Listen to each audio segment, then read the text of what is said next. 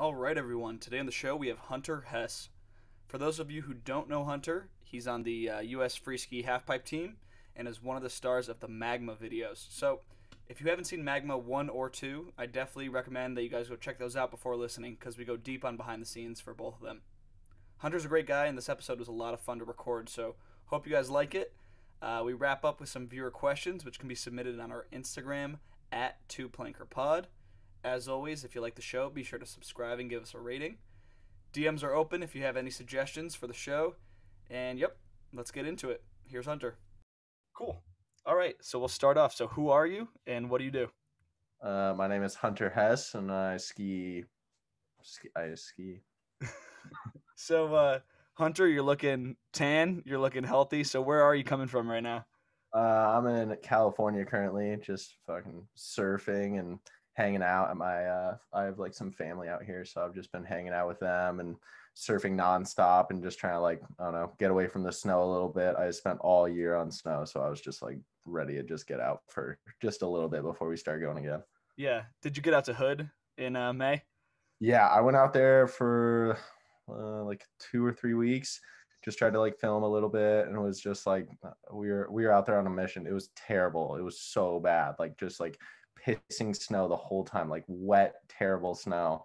And we were sleeping in the van, and we were just like we were so miserable. Uh, it was uh, Owen Dalberg and myself, my like the guy who films all the Magma movies, and so we were together for yeah, just in this van freezing for like two, three weeks, and it it sucks so bad. But we got like a few good days. I was like, okay, and then I'll be going back at the end of this month to ride for the summer for a little bit. All right, cool. Are you are you linking up with uh like Windells or anything? Is that where you're going back, or are you just going back for fun? Um, the U.S. ski team has a has like a half pipe training camp out there, so we'll just be out there for that. So I I don't think it's a part of Windells, but I'll definitely be in like the Windells lane a little. Cool. Well, so the goal of this is to find out a little bit more about you. I know that there's kind of uh, your backstory's told, like only a little bit, bits and pieces around the internet. I've been searching for you, doing some research for this. Uh, so let's take it back to like where you're from. I know you're from Bend, Oregon. What was it like growing up there, and where did it all start for you? Um, Bend was sick. Bend was so sick. When I was younger, it was just like it, it was it was super fun. I actually grew up not skiing very much. I didn't like skiing at all. I was just not like a fan of the cold or anything. And then um, I just played soccer for a while, and then that got way too hectic, and I started out ski racing for a little while. Um, it, uh, with a ski group called MBSEF, and that was like the ski group I kept with the whole way. It was like our club or whatever. Um, and so I, I rode with them for a super long time, and then just I like I hated ski racing. I like just like the the ski race itself was terrible, but I loved like just skiing to the event because I got to just like hit whatever I want to and just like ride around and cruise. And I had a really fun time with that. And then from there, I, uh, I, I just like slowly but surely started transferring into like park skiing and that whole scene. And, um, and yeah, I don't know. Bend was like the just it was a great like epicenter for like the whole thing. There was like so many people coming out of there, and skiing was like it. Like that was all we did. There was nothing else to do. So I mean, the mountain wasn't that far away, but it was like a pretty good like low key town, and like the, it was just all about skiing for us. Yeah. And so I've seen uh so when I was doing my research, I was reading some of your like athlete profiles that they have um set up and it always mentions the soccer. So how into the soccer world were you when you were younger? Like were you one of those club kids that was that was like driving an hour to go to a premier, you know, soccer academy? yeah i did i mean i was like in it like that was my sister did it forever she actually went to Adelphi university on the east coast um, and she was playing there for like a year or two and that didn't work out so then she went back but like soccer was like just a huge deal in our family like my sister traveled everywhere for it i traveled everywhere for it just i mean all in like oregon and stuff but we would just go out all the time and that was all we did was just play soccer and that was like all my homies were just like it was, it was just like a team you know you were always with them like your parents were going everywhere with with you just like trying to get you to events and everything and my mom wasn't really the biggest fan of the soccer but and so she was the one that would take me skiing my dad like just loved the soccer. So he was the guy that was like pushing us for soccer all the time. So we played soccer forever, but it, it just became like way too political. Not so much about just playing, it was more about money and like all this shit and the craziest soccer parents and everything. And there was like, there was just way too much circling around like the whole ordeal. So I was I I didn't like it. And I started to like skiing more and that started becoming more of a thing. And I think for like my parents it was a pretty pivotal type of ordeal, you know? Like it's like, well, do we let our kid do this thing that we know literally nothing about, you know? Like I mean, they had no idea. They like took me a, like a few of the contests and they supported me with it fully, but it like definitely in the beginning they're like what do we do here? Like, do we really let him just go off and do this whole ordeal? And they knew like the soccer route really well because they'd been through it with my sister or were going through it with my sister. Um, but they decided to kind of let me lead the way a little bit in that aspect. And yeah, I just ran with skiing for as long as I could. Hell yeah. And so what age were you when you made that transition? Uh, I was probably like 12 maybe 11 11 or 12 or something that's pretty cool like middle school and your parents are letting you kind of decide your uh, your journey that's a pretty good age to like start making decisions you know like yeah, hey i don't want to uh-huh. play soccer anymore mom. Like i'm sick of it. Yeah no it was, it was sick. They were they were super cool about it and they've been really cool about it, like the whole time and they've done everything that they could to just like make sure that they were like helping me in the correct direction you know? It wasn't uh, it, like like they just like finding every i mean the whole thing's pretty confusing when you're like not involved in it all, at like at all. Like what contest does he go to? Like what's good what's not good you know and like for them i mean at that time it was all about contests and there was a lot of people from bend just like helping them out and like they just put trust in other people so it was it was really cool yeah so you grew up riding at mount bachelor yeah. And uh, I'm from the East Coast, so I don't know too much about um, what it's like growing up on like the west, out west, and all those mountains. But how did you transition from, you know, I understand how you get into r- ski racing, but how do you get into something like half pipe? And like, where do you? What are the intro steps for that? Because that doesn't seem like something that's super easy to just approach on your own. You know? No, for sure. Um, I don't. The half pipe thing is kind of confusing. I like. I didn't start out running half pipe. My bachelor like never had a half pipe. Half pipe was just like, it was just something that, that over time really happened. But like the freestyle side of things, there's this guy named Brad Jacobson, and uh, and he his snow his uh, son is a snowboarder who was actually on the U.S. Uh, pipe team for a while. Nathan Jacobson, we call him Duder, and so um uh brad was a really really like well known like uh ski coach for a while you know he would just train people all the time so he talked to my dad and like said like hey like your son is he's good at skiing but he's not that good at skiing like he doesn't know how to ski and if he wants to learn how to do all this he needs to learn the fundamentals you know so i always remember like a big thing was like putting pressure in your uh like the tongue of your boot you know and like skiing with more of like a forward stance. So you were more in like the actual like i mean everyone always like leans back you know? They're always that straight legged type of thing you know and they're put they're putting it all on their calves. So a big thing he taught me was put it into your shins you know always being that forward stance and that's how you aggressively ski. That's how you deal with like anything that comes your way and so brad taught me a ton and he was actually the guy that took me to like my first like uh bigger contest it was nationals like usasa nationals or whatever so that was in copper and so I I went with him and uh, Duder, and we we all like went together, and from there it just like he he he wasn't he wasn't even freestyle. He wasn't freestyle oriented at all. He was just like a skier, you know, and like he just wanted to rip around and like do that. And so I think I did that with him, and then I think one other dude for a little while, and then that like like they just rode the mountain, so I would just ride the mountain with them. And then uh, uh, like that the park seems like the most fun thing you could do you know you like look at everyone they're like flying so you're like all right i want to go and do that. So i started to like go towards that direction and then i was in i actually grew up going to a catholic school when i was super young um till like i think i think it was like fourth grade or something.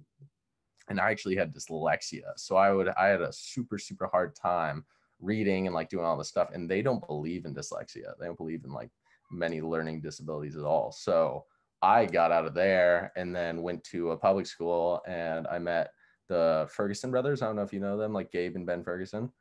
They're um, names, yeah. yeah they're snowboarders and so i met them um and this other kid named fisher brownrigg and uh they were just like some local local guys and they actually like they ended up talking to me about the local event that would go on just like a slope style event up the mountain. And so i convinced my dad to bring me up there one day and he brought me up there and i had no clue how the event worked or like anything. And i ended up being like trying to do a flip, I think, and I I just wanted to do a front flip or something. So I I fucking do this front flip, land it, skip all the other features, like literally just ski straight. It was the first jump. And it was like terrible weather. I landed it. My goggles are like on my eyes. I look up at my dad. I'm like claiming, you know, like all stoked. And uh, I, I skied straight down the mountain. I'm like, I won. Like I won that for sure, you know. and all these kids who had like actually been doing it, I like get like third place or something, you know. But it was just like from there, it just like really just started something, you know, and just like started to realize like that you could be competing, you know, and and and from there you just go like, all right, I'll do the next little local contest, and that whole there was like a really big community and Bend of it, and, and like they were all just like really supportive parents, you know, just like cool kids. And so I that was like I started growing a friend group there and started being a part of that like crew and um and yeah, like I just kept doing all those contests and then I just was fully into freestyle skiing from there. Mm-hmm. Wow, man. So so it was always in a structured environment. You weren't just doing one-off rail jams for a little bit of cash. Like you were always part of the of the system, if you yeah, will. Yeah, no, fully. I mean, yeah, I I like I was it was all like the big goal at the end of the year was nationals. If you could get to nationals, it was just for me it was like the most fun thing ever. I mean, you got uh, uh have you ever been to Copper Mountain? Uh no, I have not. It's like a it's like a little ski town and you're just kind of like stuck in this little ski town. But for us when we were younger, it's like you go to this little ski I mean, it's not that great if you just go like fuck, like I don't know, I don't want to just hang out in Copper now ever. But when you're younger and all these other kids are there and you guys all just ski and you like got this like uh, I don't know, they Monster used to sponsor it, and they would like give us like monsters and stuff, like little like rugrats just running around off energy drinks and like stuff, and you're just like by yourself. Uh, it was it was like the sickest thing. So my big thing was like I always wanted to go to nationals when I was younger, so I would compete all year and just like try to get there. Yeah. So you're learning all about skiing. Your parents are learning all about you know the structure of it. Um, so how did you like get embedded into ski culture? Because you know you're just a soccer kid coming onto the ski scene. I'm sure like where did you just start going on new schoolers and looking at videos? Like how where was your inspiration coming from when you finally were like, okay, let's let's do this. Let's be let's do the slope style thing. Let's do the free ski thing. Um, I never knew about new schoolers actually. I never watched ski videos growing up like at all. Like I think the first ski video I really saw was like every day is a Saturday. Like it was like pretty late down the line, you know, like it wasn't like I was like I I mean r- more recently in my life that stuff has played a bigger role. Like I go back and I watch that stuff now and that that's like more inspiring now than like anything ever, you know. But um when I was younger, it was kind of just our crew. Like I, I grew up with um, Jake Mageau, Mr. Mango. Wow. Yeah. So him and I were like best homies. Like that was like, we had one day where we built a pow jump and um, like with MBSEF because he was doing that too. And so him and I were just trying flips, like just landing our ass, like not doing any, like it wasn't good. Um, but then we like went back and that night actually my mom and dad took me to like a little like they like went to like some barbecue. It was just like some or it was like a dinner or something like something like any parent would go on just like a party type thing. And uh jake was actually there with his mom that night. And so i saw him it was just super random and i was like hey man. And we were like hey like that was fun today. And so that was it like for from then on it was just jake and i like just battling out against each other. And we had some guys at Bachelor that were like the guys that we looked up to, Lucas Watts and uh, this other guy named Connor Bennett. And those were like the dudes that we like looked up to. And so the only goal was to like be like them for a while. And then we started to like know bigger dudes. For me, it was Bobby Brown. Bobby Brown was like the like the goat of everything. Like he was a superhero to me. Like there's nothing that could compare. Like I would, I, I don't know if I could ever look up to anyone like that ever. Like he was just the coolest guy ever. And then like Sammy Carlson for a while because he was a hood guy, and a lot of our coaches like knew him personally. And so it just like from there, it was always it wasn't like I don't know. And and B and E was a part of like their life. Like Jake grew up watching that more so, and like they would always like kind of like get me more into that but I I didn't really grow up watching a lot of that. It was just Bobby because he was the best, and then it was just like a little competition between like my buddies and I. Like that was just that was it. That's crazy because like you're you're working on so many great you know parts now and and and videos now. So it's like surprise. It's honestly surprising that you weren't kind of embedded in that culture before like you became a part of it. So that's pretty cool. Right. Yeah. So um, so where does it evolve from here? Because you said that you were like the the pie in the sky, if you will, was nationals at the end of the year. So how did it evolve into something bigger? And you're like, okay, let's do this for like a career and let's actually make something out of this. Um, it was it was just like a long process of just like trying to be better. It wasn't like I, I don't know, like I, I just I don't know. I don't know if I even like wanted to be like a it it wasn't even like a thought. It was kind of just like word. I'm just gonna do this, and I'm just gonna keep doing this for as long as I can, you know. And it wasn't even like it, it wasn't like there was an end goal or anything. Like I just looked up to the Bobby. Bobby was like the main guy, and I aspired to be like him and like those guys. And I would just go ski every single day and just try to just be better than my buddies, you know. And like it was that was literally it. Like we would go and we'd go these contests at Bachelor, and then um and then uh try get sponsors and stuff. We wanted sponsors really bad you know like just wanted to get free stuff all the time. Like that was like the cool thing and um we'd go to nationals and they have all these like goodie bags that you can get and you would just like want to do well and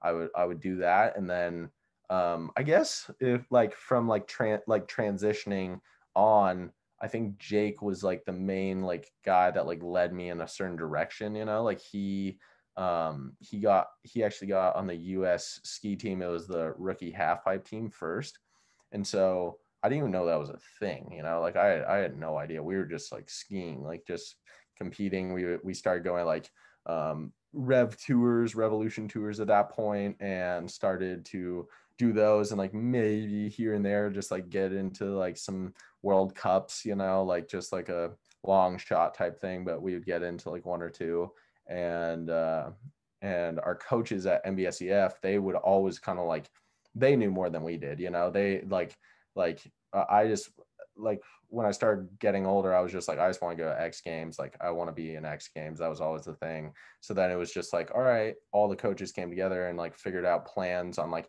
what contest to go do next. So it was like, well, you got to do rev tours. If you do well rev tours, you can do World Cups. If you do well World Cups, like maybe you get shot X or Dew Tour or whatever it was. So uh, it was just like you just did these steps. And then when Jake on the rookie half pipe team, I was like, oh man, like that, that's sick. Like I, I got to get on. Like I, I just want to be on so bad because Jake was on and that was like my, like my dude. So I just fucking, grinded it out really really hard for this one year like just like set goals for myself and like just started to like tick little boxes off and just like ended up killing it that year like pretty like did really well at all the rev tours like made finals at some of the world cups like was just like stoked on on how that year went. I actually like i think i podiumed like a rev tour uh, slope style or something so that was like i was i was stoked. I was just like doing well for myself. Um and then uh, at the end of that year, because I, I, or it was the sorry for jumping around so much, but it was the year before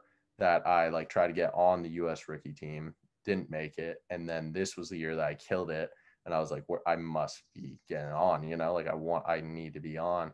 And they asked me at the end of that year to join the team, and it was like a really, really cool moment, big moment for me. Like my parents were there, it was sick and then got on and then just started traveling with those guys. And from there it's just like a straight shot. Like you just like you move up hopefully to the us pro half pipe team. Um, once you're there you are hopefully just fucking winning events and doing well and making money and doing whatever. Yeah. So um so that's sick. And uh i think that brings us like pretty pretty up to date. But if we could take a step back, um, so so you're doing the slope style. Yeah. How, so how do you make that transition over to to the half pipe? Because it's definitely a, a, a different type of of skiing for sure. Yeah, no, a hundred percent. Um, I just I skied slope style forever because that was it was way more fun than half pipe. Half pipe sucked. Um, but my dad made me do everything when I was younger. He was still like a bit of a soccer dad, so he was trying to make me do every event. I I did skier cross for a while too because you could win like the overall at nationals or whatever. So he made me do everything. So I just did everything and uh half pipe was easier. It was it was a lot easier. Like there was a bunch of people in slope style. Uh like like I mean every rev tour there was like 80 kids or whatever it was, 60 kids or something. And it was it was a ton of people, you know. So I I didn't see myself being able to stand out in that area. So I was kind of like, well, I think that there's way less people in half pipe. I think I can do pretty well at it, you know. And so just slowly but surely I started putting more more of my eggs into the half pipe, you know, like just being more into that, and that was kind of the realm that I wanted to be in, and uh, and uh, it just ended up kind of sticking. Like that last year when I got put on the rookie team, they're like, well, you're on the pipe team, but we still want you to focus on slope style and do that whole thing. But I was, uh, I, I just, I couldn't keep up with those dudes. They were, their, their air awareness was way above mine, like everything and I could I could like ride a half pipe relatively well at that point, and so I just kind of stuck with that and just decided I could learn that. Mm-hmm. And do you kind of do you do you prefer one over the other, or, or are you just comfortable doing half pipes and there's less competition, so you're like screw it, I'll just keep going with half pipe. Uh, half pipe now has grown into like a full different thing for me. Like, I mean, half pipe's more like you think it's more like mellow you end up slamming way harder and like pipe it's just like you have way less room for error you know so you just you like take way harder like or i mean you could take hard slams anywhere but it's just like you you slam a lot more you know you don't really know what you're doing as much and um but over time just because i've ridden so much half pipe now like I mean, I go and I hit jumps for like a little bit and like maybe some rails every once in a while, but like half pipe to me is just like the shit. Like you never feel better. Like like you ride a good half pipe, like a spring pipe or um it, like I don't know, even pipes in the winter, and it's just like I I just think it's the best feeling. It's where I feel like the most powerful, the most like in control of my like skis, like everything. Like it's just like I don't know, it's such like a fine tune area for me that's just I like if you're gonna give me an option, I'm gonna pick the half pipe every time. Mm-hmm. Yeah, and so, uh, so you're on the U.S. free skiing team, and looking at uh, like some of the FIS results, so it looks like pretty consistently you're going between the U.S., Canada, New Zealand, China, and France. I don't know if I'm missing any locations. Um, For events, you're saying? Yeah, for events, mm-hmm. exactly. Mm-hmm. Yeah. So, what was it like once you started actually traveling around and like going around the world to to compete for these events? Uh, that was sick. That was when I first got on the uh, uh, U.S. team. I watched this recap from one that like this uh, snowboarder um i think it was chandler hunt or something and i watched this like recap on his like season or something and it's them partying in switzerland like hanging out at these bars and stuff and just like traveling with all their buddies and i was just like i was traveling before that a little bit but never international. I never went on like an international trip. It was all in the us and so i was just like wow like no way. I got to be a part of this. And i just remember just like thinking of myself like oh man this is going to be so cool. Um, and the first international trip we went on was to new zealand and it was it was just so sick. Like just it's literally like looking back on it it's it's the coolest thing to be able to do is it like you're literally like 16 17 years old traveling with all your like best friends at the time in these like remote places you know? You're going to new zealand you're going to france you're going to switzerland you're going to canada like you're going everywhere and it's like you adapt and you are like it's like your little family you know? And you go everywhere with all your buddies all the time and i mean it's it's the coolest shit for like a while. It's just it's so sick. Mm-hmm. yeah and in those early days who's who's footing the bill for all those travel expenses and entry expenses and everything? Because at first i mean they're definitely you probably have to pay your way right Yeah, no, for sure. I mean, yeah, my my parents helped me out a lot. Like, I mean, we, I'm like, my parents financially are like relatively okay. You know, like they didn't have a ton of money. My dad was a construction worker. My mom was like a personal trainer. So we weren't like killing it, but they just supported me in any way they could. Um, they were always just like pushing me to go out and do these things. And I think for them too, like you your your kid gets on the US ski team, like that sounds pretty cool, you know? And so you're just like, you're going to New Zealand right now. Like they're like, all right, man, like go and get it. Like go and work hard and like have fun, like do your thing. So yeah, in the early days, I mean, they were just like always just backing it hundred percent. So I mean, it sucks because skiing is definitely a financially uh like it's a it's a expensive sport, you know, it's really, really expensive. And uh you gotta have some money to like get into it. Um, but yeah, I was very fortunate and my parents were backing me hundred percent of the time. Mm-hmm. And it seems like your parents were you know, because you said that your sister did a kind of a similar process with soccer. It seems like your parents were just willing to support um, like any athletic endeavor you guys were doing. Like I, I, don't think many parents would would fully back their kid go, going for a dream like this. So that's pretty that's pretty cool. No, it's it's remarkable. My parents are literally the best. Like they are always supporting me in anything I really want to do, and the um, especially when we were younger, just like being able to go and chase a goal, you know, and have these like dreams and ambitions and they were they were i mean it's not it, it's not like i leave for a week and i'm good you know i'm gone for six months out of the year you know and i'm training all the time and my grades are like falling you know i'm i'm get i, I got kicked out of school like 15 times or something like literally like like kicked out of school i had to go re-enroll every single time because i was gone for too long you know and i like and they just helped me every single step of the way like getting me the right counselors and like getting me the right people to talk to so i can graduate high school on time and like being in that crew and like still trying to get me to learn as much as I can while just like trying to progress my skiing and seeing where it actually goes. And I mean, at any point in time, I could have been like, hey, like, I don't want to do this anymore. It's too much, you know? And they would have backed me 100% if I wanted to do that. And I just stuck with it. And like skiing was it, you know? And there was no like second thought or anything. I was just like, I'm going to ski. And they were just like, here, man, like, do, do what you want. Like, supported me the whole way and it was it was and it wasn't just them they were the biggest ones for sure but I mean, it was like it was everyone. I had some teachers that killed it. I had like a lot of my family members. They helped me a ton, and like it was so many people that were just like backing me a hundred percent. And like without that, like I would never be skiing. Mm-hmm. Yeah, so. and so like in the back of your mind, or maybe even like some, coming from your parents, was there ever a plan like a, a backup plan or like any suggestion that you might want to consider taking like a more traditional route or was it always just out of the question that like you're doing you're doing the athlete thing and that's and that's it no questions. Yeah um I, I don't know it, like in the beginning there was never like it was it was just skiing but then you do get to a point where it's like all right like this is pretty serious man you know it's like you're not going to be going to college you know like you're going to be just doing this and traveling with this team and doing these things and there's definitely moments when you're like i have no idea if i like decided you know if, if if i'm in a good place you know like you do poorly at contests like money's not coming in for a while you get like i mean a, like there's no money a lot of the time you know and you're sitting there you're struggling financially you're trying to keep yourself up you're trying to like you're like damn should i just go back to school? Should i do this? Should i do that?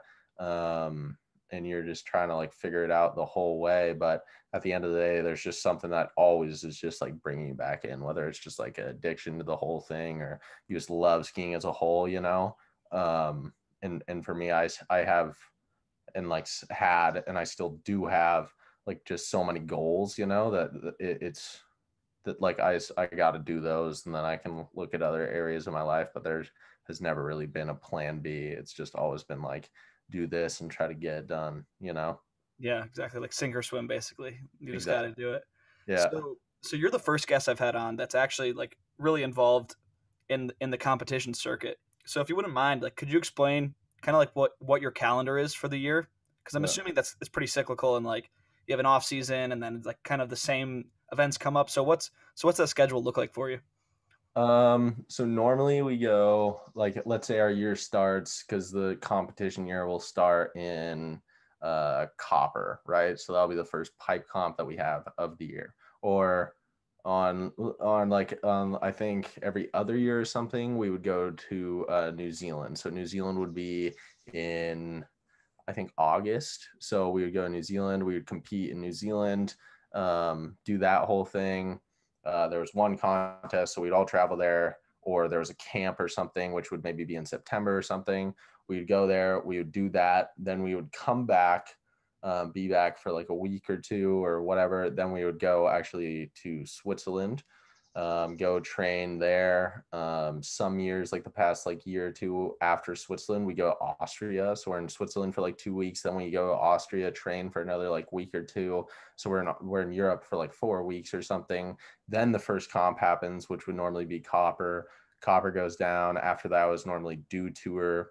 Um, and this is like all in December and then right at the end of this of December for the past few years we've gone to China so then there's a World Cup in China um, and then you fly back like the 23rd of December or something right before Christmas or like Christmas Eve or something and then you have like a week or two to chill then we'll probably have like a training camp in Copper Mountain and then that will be for like two or three weeks or something then we'll have a comp either in like Aspen or that that comp test is that that contest is always like like could be Aspen, could be Copper, um, but like normally that's like the realm, and then we go from there to maybe you like X Games that year, and then right after X Games go to Mammoth um, and do a World Cup there. And then after that, you go to probably like the final event of the year, which is the Calgary World Cup. And then after that you have like probably like a month to of just like no real skiing or maybe it's like two weeks or something of, of no real skiing um, and you can kind of fill that in with whatever you want. That's when alex and i like last year were able to film magma 2 and then um, from there you go to um, a mammoth training camp and that's like our spring training camp. Then after that a few weeks after that you go to hood for a hood training camp and then a few weeks after that you're in new zealand again for the world cup and it all starts over again. So it's a very like time consuming crazy ass schedule. Like it's it's super nuts but that's generally our year right there. Yeah. So you're just you're just living in hotels the whole year basically?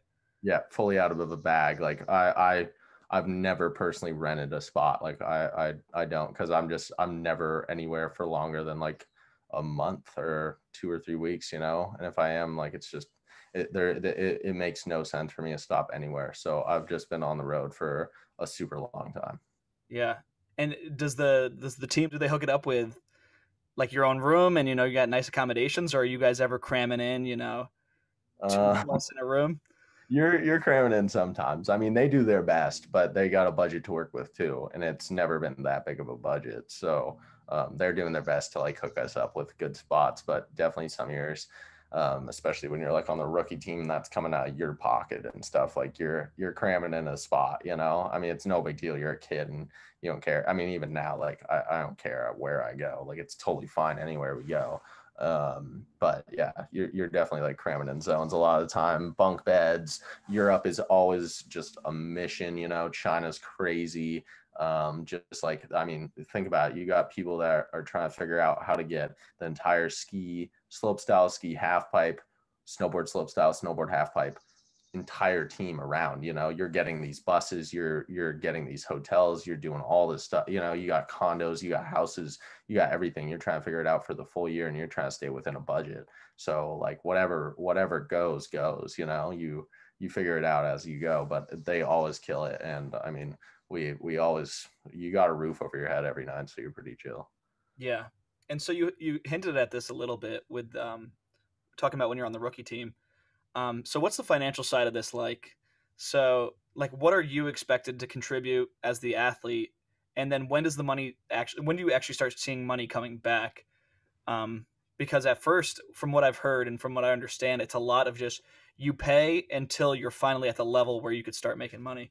Yeah. Um, I mean, that's kind of it, you know. Mm-hmm. Um, you you pay for i think uh, when you're on the rookie team you're paying for housing i think um, or maybe they cover some housing or I don't th- I don't think they cover housing. So I think you're you're paying for your housing. It's split between everyone that's there. So it's I mean it's more affordable for sure, but you're paying for your flights, you're paying for your food, you're paying you're paying for everything at that point in time. Um, and then I think they they pay for um, like entries to contests and stuff like that, which does add up at the end of it. Um, they pay for like camp fees sometimes or maybe they don't even at that point. Like it, it's very it's very like you're you're still pay, paying like a pretty penny you know? They have a lot of financial like grants that you can get and stuff like that. Um and, and there's a lot of like financial support that you can like you can reach out to and get and they try to make that as as uh, accessible for you as possible but you are for the most part when you're on that rookie team you're paying for most of it out of pocket um and when I first got on the pro team, it was still kind of like that. They cover your housing um, and camp fees, which are a ton. Camp fee. I mean, you're paying twenty five hundred bucks to ride a half pipe for a week. Like, it, like, and that's just to be able to ride that half pipe. Like, it's not cheap at all. I think Mount Hood right now, from what I heard, is like crazy. You're paying like 400 bucks a day or something just to ride that pipe. Like, and it's well maintained and they're putting money into it. Like, don't get me wrong. Like, the whole thing is, it, it I mean, they have the right people cutting it. They're like throwing salt on it. They got people grooming it halfway through the day. Like, it's that's what you got to pay for this stuff. But I mean, there's international teams that come here and they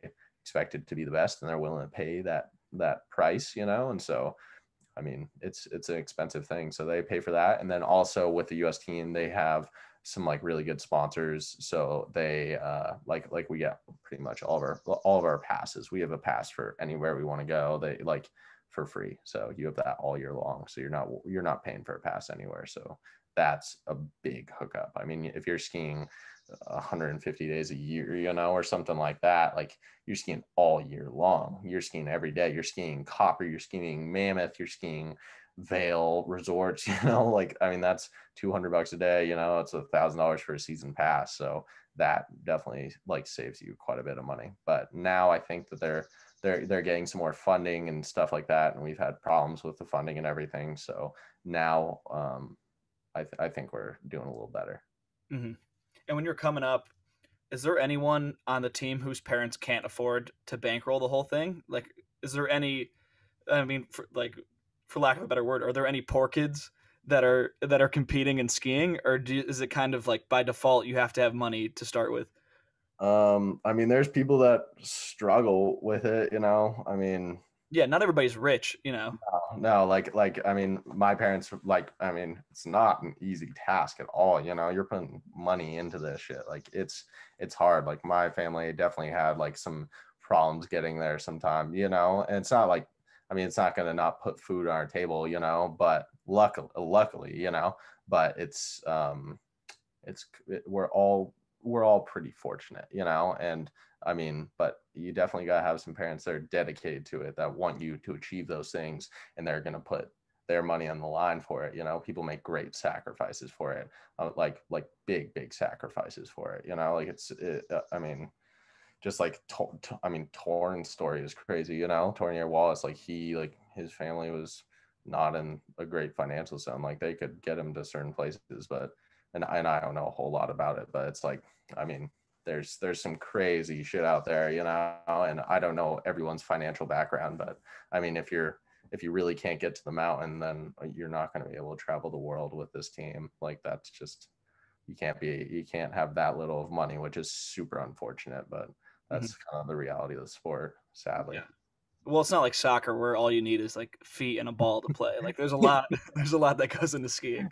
Yeah, and I think a lot of things would stop uh like a kid from being able again to get into skiing or competitive skiing before getting to that level, which is so unfortunate. I mean, you're still paying a contest fee. You're paying 60 bucks or whatever just to compete at a, a event. And that event is every weekend, right? And I mean, you need a ski pass, you need skis, you need boots, you need a helmet, you need goggles, you need all this shit. So it's, it's a it's a big chunk of change. So I mean, that is kind of the uh, like the natural selection of this this uh, world that we live in. Mm-hmm. Yeah, and so when does uh, uh, when does the money start coming back back to you? Like, at what position in the rankings do you have to do you have to achieve before you start seeing some of that investment return?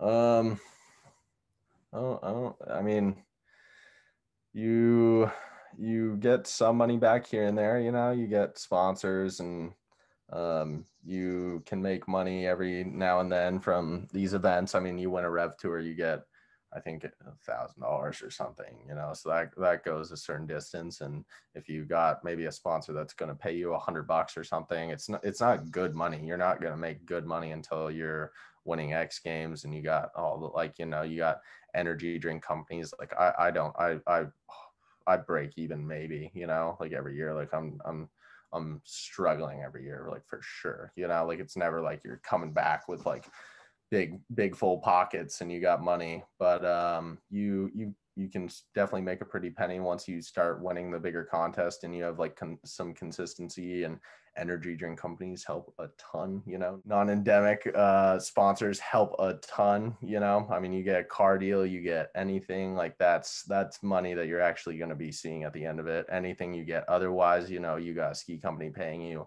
you got a goggle company paying you you know? I mean every year it's decreasing. There's more people more hands in the pot you know? Like more mouths to feed so it's decreasing. People will take less so i mean every year it kind of goes down a little bit hopefully it shoots up a little but i mean skiing's it's hard man it's it's not a super well paying sport and I mean, I know a lot of guys that are some of the best skiers in the world and they got a summer job, you know, like it's the reality of the sport kind of. Mm-hmm. Yeah, I mean, I've and I've talked to a couple athletes that that's what they all say. It's like, yeah, I love skiing, um, but I also have to love doing construction because that's how I pay my bills.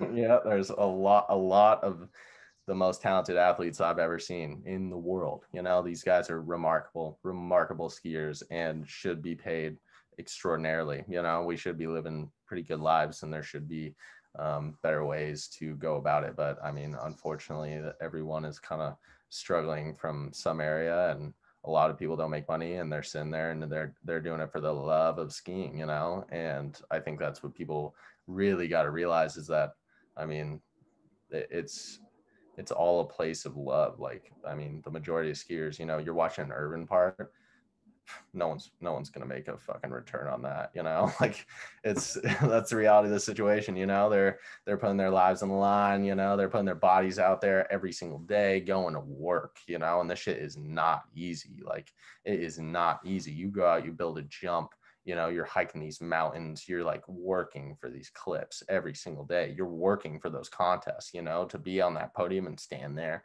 for that second, you know, that you get, you know, that little minute of fame, you're working your ass off to achieve that. And so people put a lot of work into anything that they do. Any professional skier does it too. It's not, it's not, there's not many people laying down asking for their belly to be rubbed. Like it's a lot of people and they're getting fucking they're not making ends meet a lot of the time and then they got to go out and work for the summer and do it all over again because that's what they love and that's what they want to do and so that is kind of the reality of of the sport as of right now, unfortunately. Yeah, and do you know where some of these, you know, these non-endemic sponsorship contracts are are are ringing in at? Like, what what's the dollar value on those? Because it, looking from the outside in, it's hard to tell like what a quote unquote good salary is in in competitive skiing because yeah. compared to you know like any different sports it could be it could be you know completely different so do you have any idea um I don't know how much I'm allowed to say on that. Yeah. um, I mean, just because I know people personally, you know. Okay, yeah, so it's um, tough. It, it's it's kind of hard. I mean, I I know their their ski companies don't pay a whole lot right now. You know, you're you're looking at I don't know somewhere in the uh, I don't I don't really know how much I can say. You know, but I do yeah, know yeah. there there. I mean, there are a lot of people that make. Um, a, a good living you know mm-hmm. like they there there are skiers out there that make a good living you know they're making they're making six figures a year for sure yeah but that's uh, that's not common no that is the top of the top, you know, you are killing it, you know, and you're not going to have that for many years. You are going to have that for a certain amount of time, and you are going to work like really hard for that. Like there, there, it's it's a, it's a handful of dudes, you know. Um, and I mean, most people could probably guess that handful of guys, you know. It's not mm-hmm. like a big mystery, but there are people that do make a make a decent amount of money. You know, they should be making more, but they make enough for what they are doing, I guess. Yeah, I mean, well, it's just that level of like, like it's the top of it's the top of our sport, but you look at the top of other sports, and it just doesn't even compare at all. Like the top of this sport is the minimum. It's yeah. lower than the minimum for other it, sports. It's insane. I mean, I I I was literally just watching um um, uh, a video with my cousin, and it was talking about um, like Olympics and uh, and how all these Olympic athletes, you know, like Lolo Jones and Michael Phelps and all these huge stars, you know, and they're talking about financial success and a lot of them don't have it even in the slightest, you know, and those are, I mean, that's kind of the reality of a lot of Olympic sports, you know, they're monetizing, um, they monetize these events pretty horribly. They don't make it very entertaining for people to watch. And so you're sitting there kind of wondering like, well, why aren't we making money? Like, I mean, action sports athletes as a whole are like they're they're remarkable athletes and and uh, they go through some like uh, mental battles and physical um, expectations and everything that a lot of athletes will never go through. You know, like it's just it's insane what people do. Like it's it's literally insane. And you look at the growth of what's happened. You know, like you're never gonna see a basketball player jump that much higher. You know, but you're gonna see a guy that ten years ago was winning doing a a switch 1080 and now you got guys doing triple cork 1980s you know? Like it's like I, I, mean there's like it the the amount that we've grown in such a short amount of time is remarkable and no one's getting compensated for it you know? Like it, it's it, it, it it's not happening you know? Like and, and until someone really steps in and finds a way to just make it more of a viewable thing you know it it, it won't really change i don't think yeah, it's uh it's definitely complex. And it's yeah. uh and just the difference between the the compensation and the risk too is mm-hmm. insane. You know, like the the injuries that that you could sustain in skiing are just so much greater than yeah. say in basketball, for example. No, a hundred percent. I mean, it, it's it's nuts. I mean, you you get a guy that signs on that you're never going to hear of, and he signs to the NBA, and he's making 15 million dollars a year or something you know and you're sitting there being like wow i can be at the top of this sport you know i could win olympic medals and i could make six figures a year. Like that is a goal like that is what you want. If you're doing that you're killing it. Like you are you are killing it but that's not even guaranteed to you. That's if you are able to sign the, the right deals that's that's like if people really want to back you that's what you're expected. Like that is your peak right there. And these guys like lowest level is that you know? Like if you're not making a million dollars a year like it's like what are you doing here? You know? Like it's not even worth it for them to go play on this court. Yeah. Yeah and i think it, it does come back to the the love of the sport and that's something i wanted to touch on for you because you know the on the competition circuit a lot of guys they take the off season to just relax you know and yeah. you've mentioned and you mentioned earlier that like the urban guys really do it for the love of it because there's no money in that and there's a ton of injuries and so when did you go from the competition to scene to also in your free time making videos and like hitting urban and just doing and doing that whole side of it.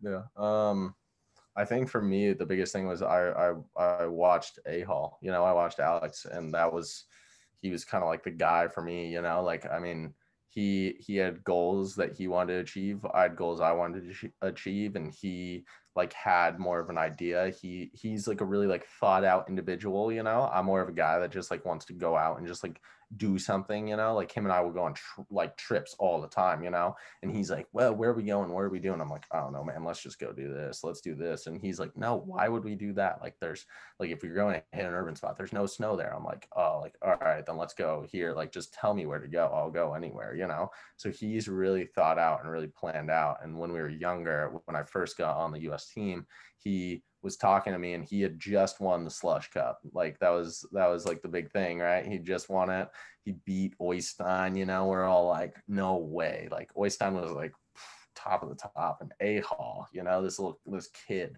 he just beat him, and we're sitting there, and we're like, I'm I'm I'm like, dude, tell me what to do. Like, tell me how to be a better skier.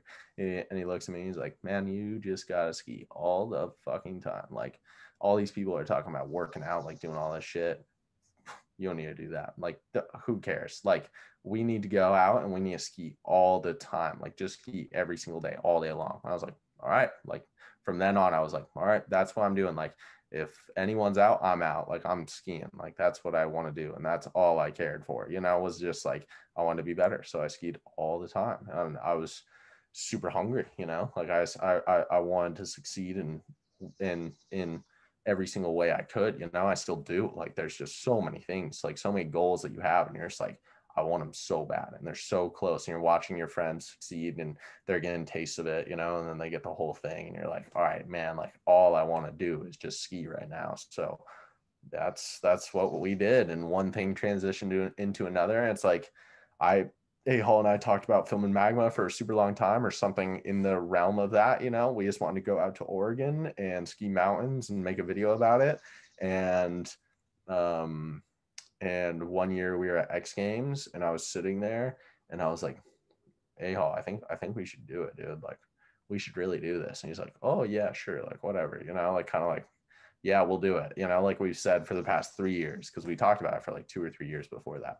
So he's like, yeah, whatever. I'm like, all right, we're actually gonna do it. So from there, I was kind of like, I was like, this is this is the goal. So we're competing, we're doing all this stuff, but I want to make this video because you still you do want to be like those guys you know you want to make really big video parts video is a big big part of skiing you know like you got video projects you want to be the best in the world you got to show that you're the best in the world in everything like fuck that you just ride half pipe like like you're a great skier don't get me wrong but like that's not what it's about you know at least in my mind it was always about like just doing everything you know like if if i'm doing anything i'm doing everything like that was the goal you know you need to do everything. T hall says it all the time like he talks about henrik and henrik just does like he does everything you know so i was just like all right man i want to be like them like this this opportunity is here like let's take it. So I started talking to people and trying to figure it out, trying to figure out where the cash would come from. It didn't look like we had any, but I could convince A Hall to go. And um, we were riding up the chairlift one day and I talked to Oystein Bråten about it and he decided that he would come too. Like, and I thought he was joking, you know, like Oystein was like he was still like one of the greatest, you know. like Oystein is was my like has been my favorite skier for a super long time, you know. I'm talking to him on the chair, I like kind of like barely knew him. I'm like, yeah, man, you should come out, you should film with us. And he's like, all right, like I'll be there. I'm like, sure, like all right, cool, you know. And then a few like once I got Owen locked in because I somehow landed on Owen, you know, like because I he worked at Windells and I knew him from that, and I knew that he was a really, really good filmer. And so I was like, Owen, Owen needs to be our guy. And I like, oh, like it was the best decision I've ever made. And so I literally like go in, call Owen. Owen says he's down. Oystein, I end up calling Oystein, and Oystein's like, all right, I'll be there. Got a ticket from Norway to Redmond, Oregon to fly in, and he was going to stay with my parents for a few days. And A Hall was going to come like a week after us.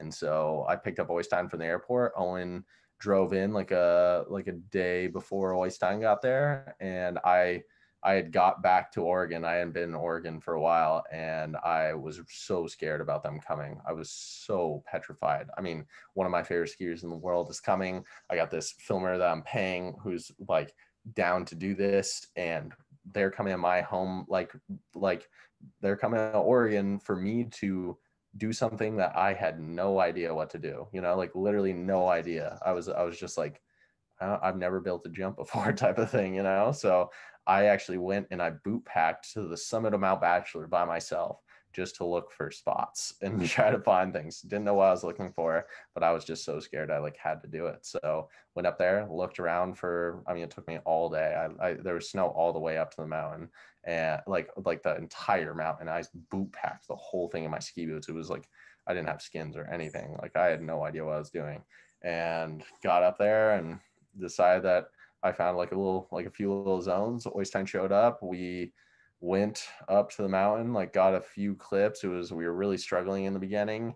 A Hall came out like a week later. We didn't even know if he was going to come out. Like we were like doubting if he was even going to come out.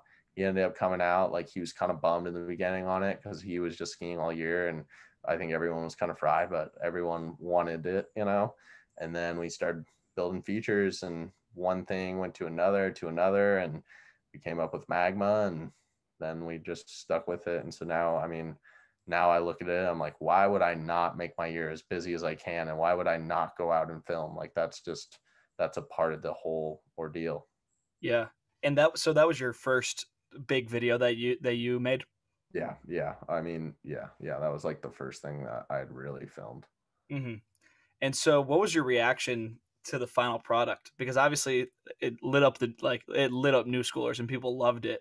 Were you thinking to yourself like, "Damn, like I need to do this every year. Like this is the best feeling in the world. Like this is like the skier I want to be." Um, it was crazy. I was actually in I was in California visiting some of my family, and Owen sent me the link, and he's like, hey man, like here's magma. And I was like, all right. So I clicked on it and literally uh, he he like made the video one time. I think there was like one thing that he changed about it. Like he played a song for a little longer and that was like really it. Like the the the first thing he sent me was like our final thing. Like it literally like the kid killed it. Like there was nothing he could have done better. And he he sent it to me and I watched it and I, I, was sitting there, I was crying for sure, you know, like I was like, oh my gosh, like this is so cool, you know, because I mean, it was it was just like it was like dream shit, you know, like you grow up, you want to you you have an idea of what you want in your head, you know, and like and this wasn't like a final step or anything in in that realm, but it was it was like the first step in like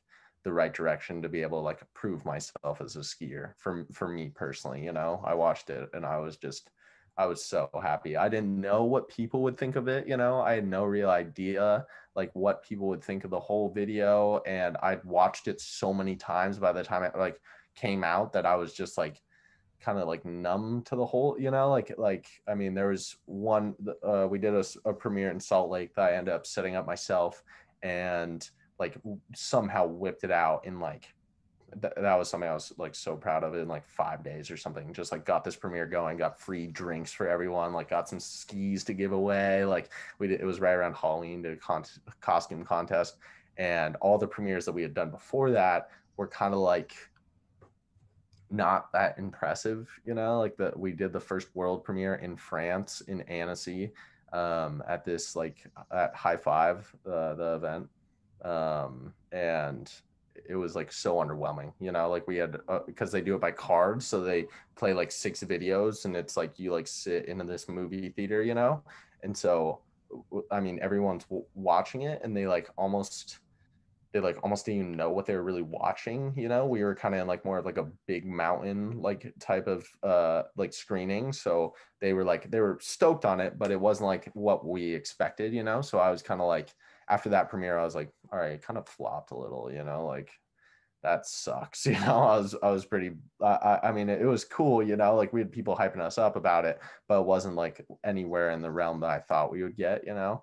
And then I set up that premiere in Salt Lake and when like when it like people were just losing their minds during the whole thing. They were so stoked on it you know? We had all these kids come out and these people and everyone was having like a blast and we filled up this room with so many people and kids i knew that uh, like grew up with were there like watching it like it was so so cool. And i think like one of the more memorable times for me of the entire thing was like when when the ender drops and I do like the triple or whatever, and everyone in that room like lost their minds. I mean, I like I, I, I literally was like I was crying like it was the coolest thing ever. It was so cool like just that many people being so proud of something you spent so much time on and something you like idolized for so long, you know? And that was the moment for me when I was like all right, like we made something that like all that work was worth it just for that moment.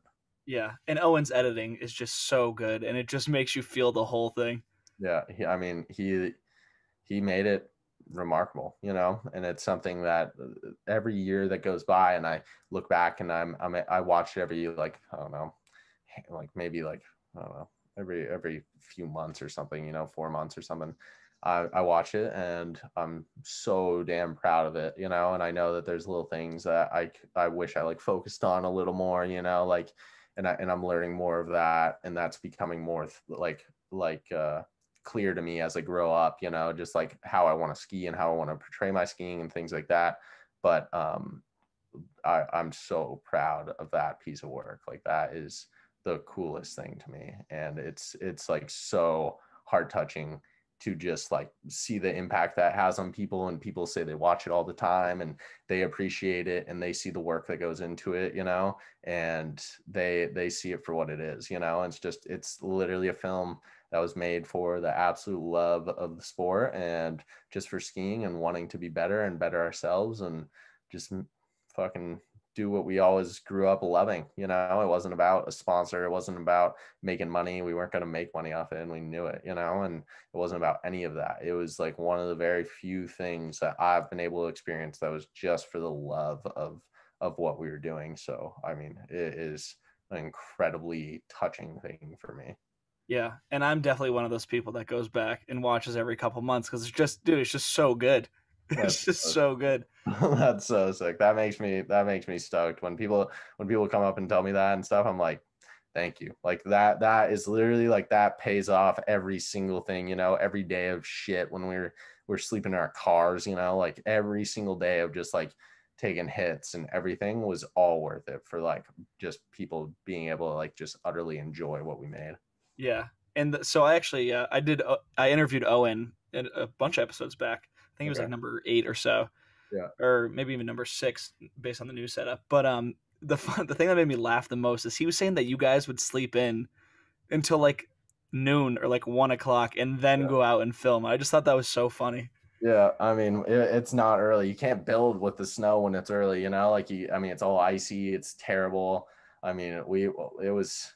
It, it, I mean, it's crazy to think back on, you know, because I mean, we do similar stuff now. You know, it's like Owen and I, when we were just in Hood, we were sleeping in the van and we would get up there like whenever we could and we'd ski all day and put in like insane amounts of work. Like it was insane, you know, but um yeah, you you we would get up there at like 10, 11, maybe 12, you know, like figure out our pass situation, which most of the time we were just like trying to poach, you know, like I mean, we would do some sketchy shit to get people up that lift, you know, and just we we needed people to help us, you know, and we needed to get people up. And Owen didn't have a pass that whole summer. We were fortunate enough to get day passes, um, and we were just like just trying to make it work. We had all types of issues, you know, people just like screaming at us, like people not letting Owen on the lift. Um, just like the whole ordeal was like so. Eh, I mean, there were so many uh, things that we had to deal with. You know, I mean, every single day was something you know new. Like the snow wouldn't cooperate. Like something would melt out a little. You know, you had to go, and there was rain days where we like we wouldn't go up, and we didn't. Uh, I mean, when we built that quarter pipe, we had to build that quarter pipe two times. You know, like we went up, we built it, I hit it two times just to test it out right before we went up and did that sunset shoot. It was after we sessioned that two jump line. So we hit the two jump line, go down, build a quarter pipe. I test hit twice or three times or something, felt sick, went up, did the sunset shoot, left, uh, went back to, or no, it started raining. A Hall left for like two or three days. I went back to Bend for the 4th of July because um, that was going to be like our time off. Owen went to Hood River or something. Oystein went back to Norway, and the like the, we just had to wait for the rain. You know, we were sitting in Bend waiting for the rain. A Hall came back. We went back up. The whole quarter pipe was gone. It was a complete different hole. Like the whole thing. There were so many rocks there. We went. We rebuilt it, and we were able to hit it that day. So there was there were so many things that went into that project that were just like they, they, were so challenging and every single day. I mean we would stay up there till nine o'clock ten o'clock every single night every single night you know? You come down and you're dead. You're laying in that parking lot and nothing's felt better than just laying in the parking lot. Then you got to go down you got to make food you got to set up your camp and everything. You pass out you wake up at like 10 and you do it all over again for a new shot. Like it's it, it was insane yeah, that's amazing. And so I think that we have to talk about the behind the scenes with the triple. So like what was going through your mind with that triple and like setting up for it and and everything that led up to it? Um that one's funny because we were we were joking around about pretty much like the whole time we were filming. You know, like it was kind of just like, oh, like you're gonna do the triple flair or whatever, you know, like a QP triple, like that would be so sick. And I was like, yeah, yeah, yeah, yeah, I want to do it, I want to do it, you know. But you're always talking shit till it comes down to the actual moment, and so we were always joking about it and i was the first day i hit it uh, like when before the second build i kind of like i did i was i was just doing like some flairs and stuff and i like like kind of like thought of it for a sec but it wasn't anything where i was like yep like that that'll go you know? And oystein was like yo you think you can triple flair that? Like jokingly i'm like yeah yeah yeah totally totally. And i mean it was it was it was literally a joke. And then we went up there that day and um, I think that we we built it and started off just hitting it. You know, we were hitting it a bunch, and I think I was just doing like some dub chucks, you know, like a dub flair or whatever, and it, i really like at that point in time i was like there's like i'm not going to do this you know like it was not very lippy it like you know you would deck on that on that like little shelf most times you would hit that and then like bounce down like it, it i mean it really and i you would not have much air time like you were just like like it was like it was cool but i at that moment it kind of like it, it, it wasn't even a real thought in my mind you know i was like oh whatever and so I just I kept doing them because I want like just doing the dub flair because I just wanted to get a better clip of it. And all of a sudden, I don't know if there was something that like set me off about it or what actually ended up happening, but it was just kind of like, yo, you think I could, you know? And I talked to uh, Cameron Broderick, who was up there, and he was one of my buddies, and he has like I think one clip or two clips I was like, I was like, yo, man, like, you think I could do this? Or maybe it was Lennon. Maybe I talked to Lennon. I was like, yo, man, you think I could do this? And he's like, no, like you got to go. If you if you think you want to do it, you got to go way, way, way bigger. So I was like, okay, like sure. So there was a point where everyone was starting, and so I just hiked up way further and just ended up coming in, and I did one dub flair that was like a little bigger, you know, like a little bigger than the other ones I did and I went to Owen and I was like, Owen, you think I could actually do the triple flair, you know? And he's like, he's like, you got to go way bigger. And I'm like, all right, all right, man. So I went up again, and and uh, this was after A Hall did the uh, the nose butter dub dub twelve or whatever it was. Um, and because because I thought about it a little bit before that, I like was talking to Cam about it, and then a Hall wanted to do the nose butter, and I brought it up to A Hall, and A Hall's like, "We're gonna have to make it kickier, but let me land this first, and then we'll rebuild it." So I actually sat down for a little bit. A Hall landed his trick. We go, we rebuild it. Then I do one that was a little bit bigger. Owen's like, "I think you could do it, but you do need to go bigger." So I'm like, "All right, word." So I go up, I hike up way further than I hiked up any of the other times. And I was like kind of contemplating it at that point, but I was like, whatever. And I did a dub flair. It was big. It was big as fuck. It was huge, you know. I land and I was like, and the whole time before that, I was thinking about the triple, you know. I'm like, worst comes to worst, I'll just go to my back, you know. Like I'll, I was like, I, will I'll just go to my back. Like it won't hurt that bad, right? Like, I mean, it'll suck, you know, but I'll survive, type of thing, you know. Um, and I landed that dub flair where I went really big, and oh my god, I hit an ice vein in that landing. It was so, it was so sturdy and I was sitting there, I was like, oh fuck. Like if I go to my back, I'm not gonna be okay. And I knew it right at that moment. And I didn't want to admit it to myself, you know, but I, I did know at that time that I like it, it was a serious ordeal. So I went down and landed and Owen was right where we were landing. And I was like, hugged Owen. I was like, all right, man. Um, hiked up. I hugged Alex and Cam because they were just at the bottom. Um, and I started hiking up, and Len was right in front of me, and he spoke a few words to me, and I hugged him, and he went down, and um, I hiked all the way up to this zone where I was dropping in, and even beyond where I did the last one.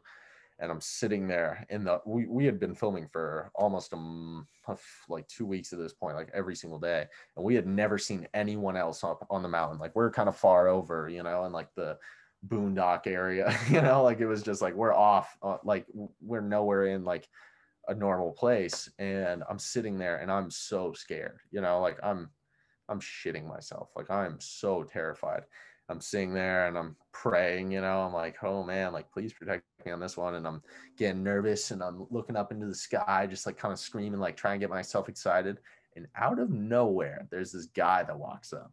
He's touring up the, the fucking mountain. He walks up and I'm seeing and I was screaming at myself before this, right?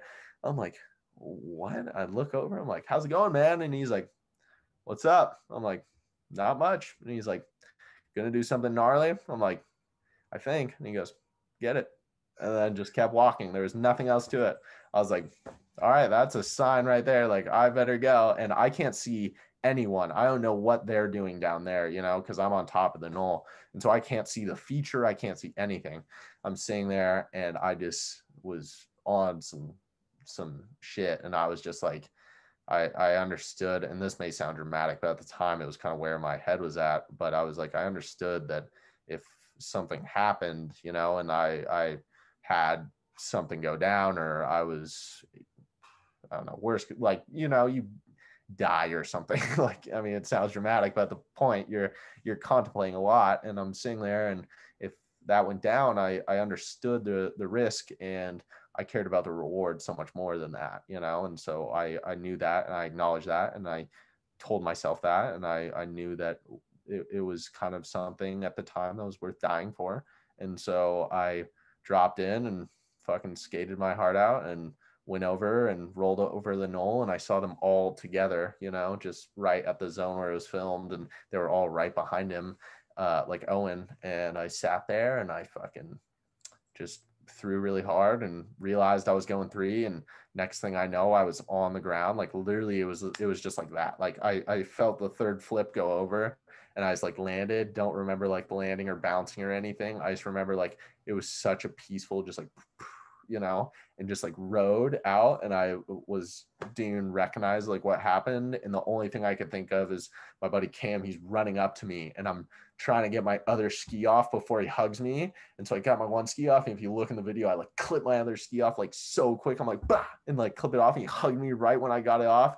And that was the only thing I thought about. And I mean, it, it was it was insane. I stood there at the end and just like looked at it, and it was I think like probably the most remarkable moment I've ever had on my skis or just in my life. Like it was it was nuts. It was just like a moment when I faced fear in in like the fullest in my in my life you know like I, would never been that scared i'd never been that nervous and it, it it wasn't for a crowd you know like wasn't for anything like that was just a moment that was like purely for me and myself and my skiing you know just to like push myself because that's what i wanted to do more than anything and so i fucking landed it. We had a little moment where we were all standing there and everyone was just like, wow, like that was nuts that that went down.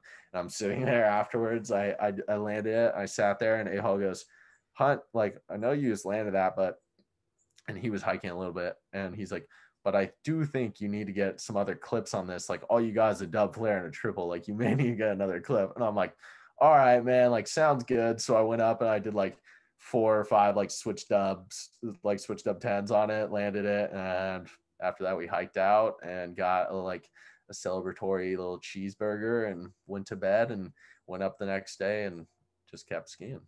Oh, that's insane! I can't believe that that, that wasn't the finale. You know, I, like I can't believe you just didn't pack it up after that. No, it was, it was, and that that was like a really cool thing to me because it was like like no matter what we did or like what we went through, it's just it's it's you got to just keep getting clips. Like it was like that was the reason we were out there. We weren't out there to like do that, and that was a really great moment, and it was something that I was I will always hold on to, you know, and what the amount of time that we spent there idolize like just being happy for what just happened was was sick. It was so cool. And I wouldn't change that event for the world, you know, like I it was literally me and like some of my best homies, you know, and we were on a mountain in the middle of nowhere with no one around us and like that shit just went down, you know, and no one was going to know about it for months. Like that was just the reality of the situation. I couldn't brag, like I couldn't show the clip to anyone. I couldn't do anything. I, it was literally just this like remarkable little thing where it happened. It was like just like one of the coolest moments I was able to experience. And we just had to keep skiing, you know, like it was all for the video. Like we wanted the video to turn out the best it possibly could. So we kept skiing, and I think that really shows to like A Hall's mentality and my my willingness to like follow that mentality and try to uh, emulate him. You know, is that like fuck, like it doesn't matter, but like we just we we want to just ski, like skiing. It's all for skiing, so we just want to ski, and that's that's what we came out to do. That is beautiful. That is just so that is so sick.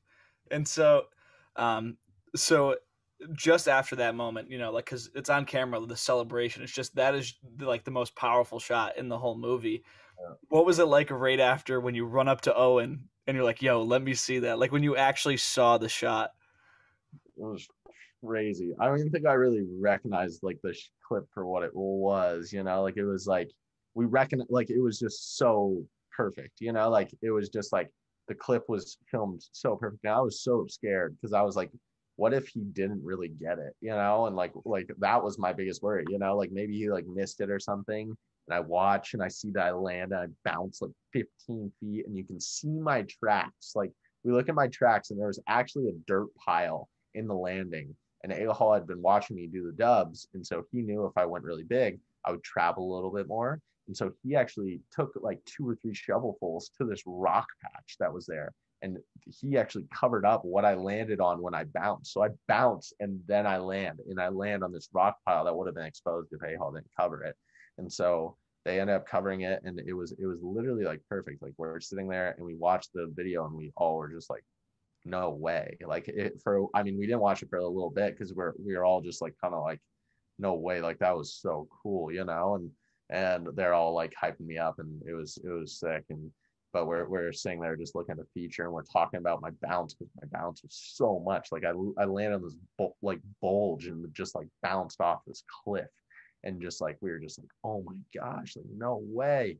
And then we looked at the clip and well I mean I could like it was just at the time it was just like perfect. Like it was just like you got the clip man. And it was so cool with like the celebration afterwards you know? It was just insane. Like it was like you you couldn't want a better video you know? And that night when we like ate some food at uh, the huckleberry inn it's like the classic gubby spot um we were just like sitting there and we played the video and we were like all like huddling around it trying to like not let anyone see it. It's like 10 or 11 o'clock like anyone's gonna care you know? And we are just like huddled around the thing and we watched it a few times and we were just like no way like that was so like that's so like then from there at least in my eyes like the video was it had like something to it you know? Like there was something like behind the video you know? Like not saying i made the video in any shape you know? Like it, it, it was a hall killed it so hard. Owen killed it so like it's it the whole thing is just a huge group effort. Like no one would be able to do it by themselves. But um that was like just when we started getting those clips because A Hall's nose butter too was something that we watched and it was insane, you know, like that trick is fucking crazy. Like it he literally like barely fit his skis in the track because we didn't make the lip wide enough and he just like bounced off and did this dubbed 12 like it was so nuts and like so snappy and like clean and we were like after we got those clips we are like all right the, the video has something here like we we got to keep doing what we're doing you know so it kind of just added a little bit more fire to the whole project and i mean it, it, it, i think we started to realize that it was like a serious video at that point yeah that is that is so crazy i mean and then obviously you go on and win trick of the year yeah. for that. And was that just like the cherry on top? Like you actually like get to take home like a physical manifestation of how sick that was?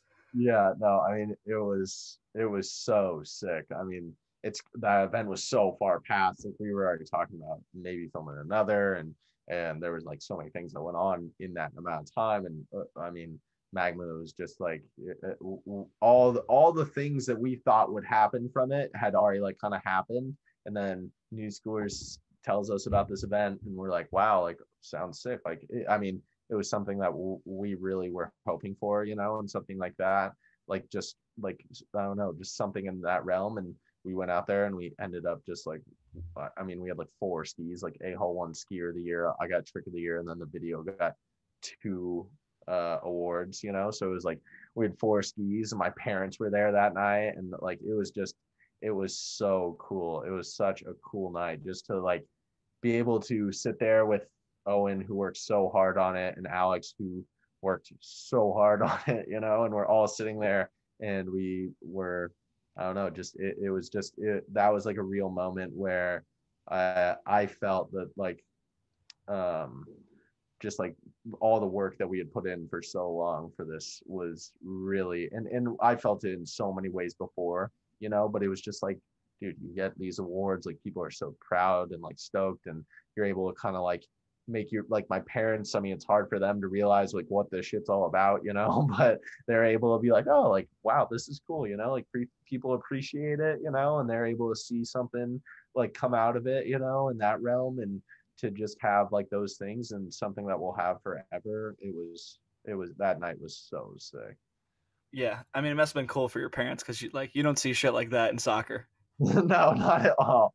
So they were they were stoked and and i mean my parents are so supportive. Like, uh, I mean, dude, after that, I would walk in and my dad loves watching videos like of me doing whatever. And he was, he has watched that video all the time. He, he has this like uh, desktop computer and he sits on with his headphones. He sits like super close to the computer and he, he just watches it all the time, you know? And that was cool for me because it was like, I mean, my parents don't get to be up there every day with me. You know, they don't get to watch me train or like do like see like how I'm progressing and things like that. So for me to have this like thing that represented me and my skiing and was able to prove myself a bit because that was a big piece of it. You know, I I wanted to prove myself and like how confident I was in myself as a skier. Like that was like a big point of the movie was like for me personally. I'm not saying that's why we made it. It was just like I wanted to have something to show the world. Like I'm not just like some kid, you know. Like I want like this is some shit. Like I want to I want to be able to prove like I want to ski hard and I I can keep up, you know. And so to have that and to for my parents to be able to enjoy that, for my family members, you know, I had family in New York be able to see it and they're able to show like all my little cousins and and just like the general public and to be able to just express that and they're able to get a feeling of what we're doing and why I do this and why we love it so much. And they're able to understand that just for those 11 minutes or whatever it is, but they're able to feel that like that. The whole video was just like, it, it, it, uh, that was one of the best things I'd ever like, and still like, I think it was one of the best decisions besides just getting Owen for the video was like the best decision I've ever made was to tried to make that video, you know, and to have guys like that, like back the whole thing and take it in and make it their own, you know, and and I mean it wasn't it's never a me thing. It was a us thing, you know, like Owen worked so damn hard and A Hall worked so damn hard and to have that crew and those guys I wouldn't be able to ever like pick a better group. So I mean the whole thing is really, really cool. That's so sick. That is yeah. so sick. So one of the things that I wondered from this story. Where's the Oystein footage from the first magma? Um, he dropped an edit. I forget what it was called. It was like hood or, or I, I I forget what he called it, but he dropped a video from that. Um, and he put it out on his own channel and like did his own thing. And Oystein was someone that we really, really wanted to be in Magma. Like we really wanted him to be a part of it. Um, and when I originally talked to him on the chairlift at Park City, he sounded like he was really into it. You know, it sounded like it was like a, a, a cool thing and he wanted to do it. So we planned on doing it. And right before he bought his ticket to fly out, he told me that he didn't want to be in the video that he was filming for his own project that he had going on that year. And if he, and that kind of did put us in a little bit of a bind because we were, I mean, filming for three people is a lot easier than filming for two just like you know like it, it, you got more footage it's just going to make the whole thing easier. Oystein's like Oystein you know like he like is like one of the best in the world you know? So it's like I, I, we were we were really hoping for that footage you know? And he wanted to film his own thing. So we were kind of reluctant with it or at least I was and I I was a little bummed in the beginning, but I was like, you know, dude, like having you here is going to be just way more like beneficial. You know, we need a we need a bigger crew digging. I want to I want to like bring like I want you to ski with us, like get us stoked, and you can have the shots at the end of it. Like he was going to be with us and build with us and split split paying with Owen, and like it was it was good for all of us. So we were like, yeah, you know like fuck it, like come out. So he came out and we knew that the whole time and he ended up leaving before the quarter pipe session. It was actually just supposed to be him and I at the quarter pipe session because A Hall was leaving. But then the rain came in and it wasn't him and I, it was A Hall and I. Um, and so uh, uh, he got a lot of really good shots that we were like really stoked on. And he's kept them for his own shit. Um, after Magma came out, he was kind of just like, damn, I wish I was a part of that, you know, because I mean, I think he understood at that time like what we were actually making, and I think he got more shots for his own project than he like really like anticipated in the beginning or something. Um, and so when we were talking about filming for Magma 2, we were going to go to Europe and we were going to be in Europe, and Oystein was going to be uh, a part of it, and he was going to be in Magma 2, and it was going to be A Hall, Oystein, and I. And that was what our plan was was for that crew. Um, and so we talked to Oystein about it. We were planning tr- like all the trips and everything and getting him all set. And um, we got it all together. And I think it was like two or three days before I was, or like, yeah, it was like a week or something before I was supposed to fly to Europe to like start filming because we were going to film for like a month or two until Kimbo. So we were like really preparing for the whole thing. It was going to be A Hall, Oystein, and I. And we got a little bit of money at that point for for it and everything and we were stoked and then the pandemic hit um, things changed really really really quickly a hall was in europe already and so he like it was when we weren't sure about flights going out or like coming back and and uh they were blocking flights coming back into the US. So A Hall got like what we thought was going to be like one of the last flights back into the US. So he got that. Oystein was just stuck in Norway, unfortunately. And we were in Colorado and we were kind of trying to figure out where we were going to go. If we were going to go back to Hood, if we were going to go to like somewhere in Idaho or Montana. And we were talking about a bunch of different ideas. And A Hall his family has a cabin up in uh, Big Cottonwood in Utah, and I was already in Utah, and uh, and Owen was already in Utah, and so he just started going out and scoping, and he's like, dude, there's a lot of snow here for what it is right now. Like, I I think we can find some spots.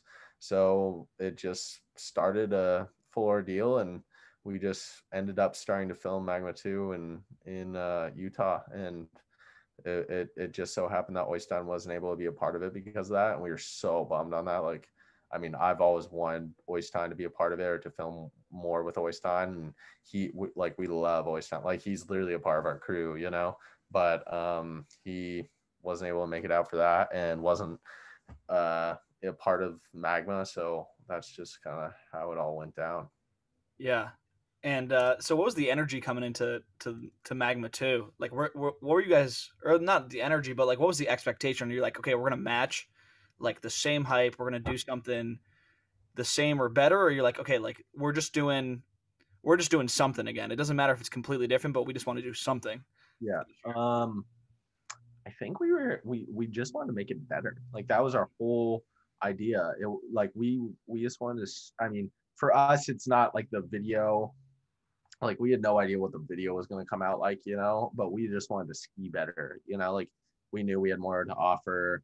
A Hall and I are, I mean, we, we, we're consistently getting better. And so we, we just really wanted to make it better than the first one, you know, that was our goal. And we know, we knew that we're, we were never going to be able to replace the first one because the first one was such like a natural feel, you know, like that's just what the video had to it, you know, but we just wanted to try to outdo it a little bit in whatever way we could. So we just started building jumps and Magma 2 was a lot more work because uh, when we were filming for Magma, we would take the chairlift up to a certain point. You would like traverse over. We would have to hike out of whatever we we're hitting, which was a pain. And, and it was a lot of building and you're up on the glacier all day, you know, you're just getting fried by the sun. Like it's, it was a ton of of labor don't get me wrong but magma 2 was like we had to tour or hike up to these zones that were 30 45 minutes right and that's how you start then you go you have to build which is like pretty like it, it's a big demand you know and then you have to hike the feature and hit it so in magma we were able to hit, build, hit, and get all the clips we want to in a day. Like that's something we're like we would normally be able to do. Um, for Magma 2, we would have build days. So Alex and I would go up every other day, go up and build a feature. If we were able to convince someone else to come with us, they would come with us, you know. Um, if not, it was just Alex and I, and we would go up and we would build just for a full day, just have a full day of building and then ride down, hike up the next day, finish it up with people because you have a feature that they can hit, you know, and they'll come out and hit or watch us hit it. Um, they'll help finish it up. We'll finish it up and we would session it that day. So it, every feature was like a, a two day process. So it was a it was a lot more for that and a lot more work kind of went into that. And after that one, I was we filmed for a little longer and we had we counted how many features that we had in the first one. I think it was like i forget it was like 13 or 14 features that we had made. And so we were counting for this one and we got to i think we had 19 or something like that. So we were able to get to that many features and we knew that we had a pretty good project at that point and we had some pretty decent shots and we had goals for what we wanted. Um, and we were able to kind of check off some boxes and we made it and then with the intro i had the uh, that idea for like three or yeah like three years or four years maybe um, just kind of like messing around with some old like classic ski footage because that is like a really big part of me now is that classic ski footage. And so um we i had that idea for a, a while i mean but getting Tom and Dumont in on something is not an easy task. so I wanted to do that for the first one and we weren't able to I we didn't really even try. And so for the second one I was I was like we should do this. Like we should really try this. And so um, A Hall was talking to Tom a little bit, and then he just passed it over to me, and he's like, talk to him. And so I talked to Tom, and Tom was kind of the pl- the plug to talk to Dumont. You know, like Dumont is a hard man to get a hold of, and so I and I didn't know Dumont at all. I knew Tom like okay, but I didn't know Dumont like at all. I'd met him one time, I think, um, and I doubted those. Like I knew Tom knew about Magma, but I don't think Dumont did. You know, so um, it, it was it was a hard thing to swing to him, but um, Tom helped us out a ton and was really really cool with like hooking us up with with getting a hold of Dumont, and so he ended up calling Dumont eh, a, a, few times and talking to him about it. And he was like, Hey man, so what you got to do. And it was Tom to me. And he goes, you got, you got to call Dumont. He's really bad at texting. You got to call Dumont. So fucking Tom Wallisch is telling me to call Simon Dumont. I'm sitting there and I'm shitting myself. I'm like, oh man, like I got to call the man, you know, like, I mean, Dumont is Dumont, you know, like this is the guy that you grew up idolizing. This is the guy that was bigger than anything else, you know, like he was he he was so out of the realm of even skiing, you know, like when we were growing up. Like I looked up to Bobby all the time, but Dumont was he was the biggest uh, star ever, you know, like the classic red and white kit, you know, like everything. So I end up I called Dumont, doesn't answer. I'm like, oh God, like do I leave a voicemail? So I leave him a voicemail. No response. I text him. No response. I hit up Tom because I'm trying to figure out where I can get a church, when I can get Alex there, when I can get Tom there, when I can get Dumont there, and when we can get Owen there, and a church that we can do this in. And it's a global pandemic. Like it, it, I, it, churches weren't happening. Nothing's going on. I'm like, oh man, I really don't know about this. I was staying with this guy, and he goes, "Hey, I know a pastor." So I, I was calling every church I could possibly find. Every single one, one either didn't answer or they want some money, you know, and we didn't have money, and you know, so we're we're kind of screwed. So um, I find this this pastor in uh, uh, Park City, and he was just a super kind guy, and he goes, "Sounds cool, man. How? Uh, yeah, come in. Like you you can do it." Um, but yeah, just come in. Like, tell me when you need. So I'm trying to set up this time, and I still don't know if we have Dumont in on it, and it wouldn't really make sense if we just had Tom, you know. So I'm like, I'm like, oh god, I gotta figure this out. So I texted Dumont again, and I hit up Tom, and I still had this is like three days after I tried to call Dumont the first time, and Tom's like, you gotta uh, I, talked to him. He sounds like relatively interested, but you got to explain it to him. I'm like, all right, well, he's not answering. So called him, didn't answer, left him another voicemail, no response. So I'm chilling, trying to figure it out. I'm sitting in the basement of this guy's house and all of a sudden my phone rings and I had his number saved in my phone and it just says Simon Dumont. And I was like, no way. And I am so scared. And so I answer the phone. I'm like, hello? And he goes, hey, is this Hunter? I go, yep. And he goes, hey, Hunter, this is Simon Dumont. like that. And I'm like, uh, what up, Simon Dumont? How are you, man? and so I explained to him Magma. I did a horrible job on the phone trying to talk to him about it. I was just rambling and just jumping all over the place.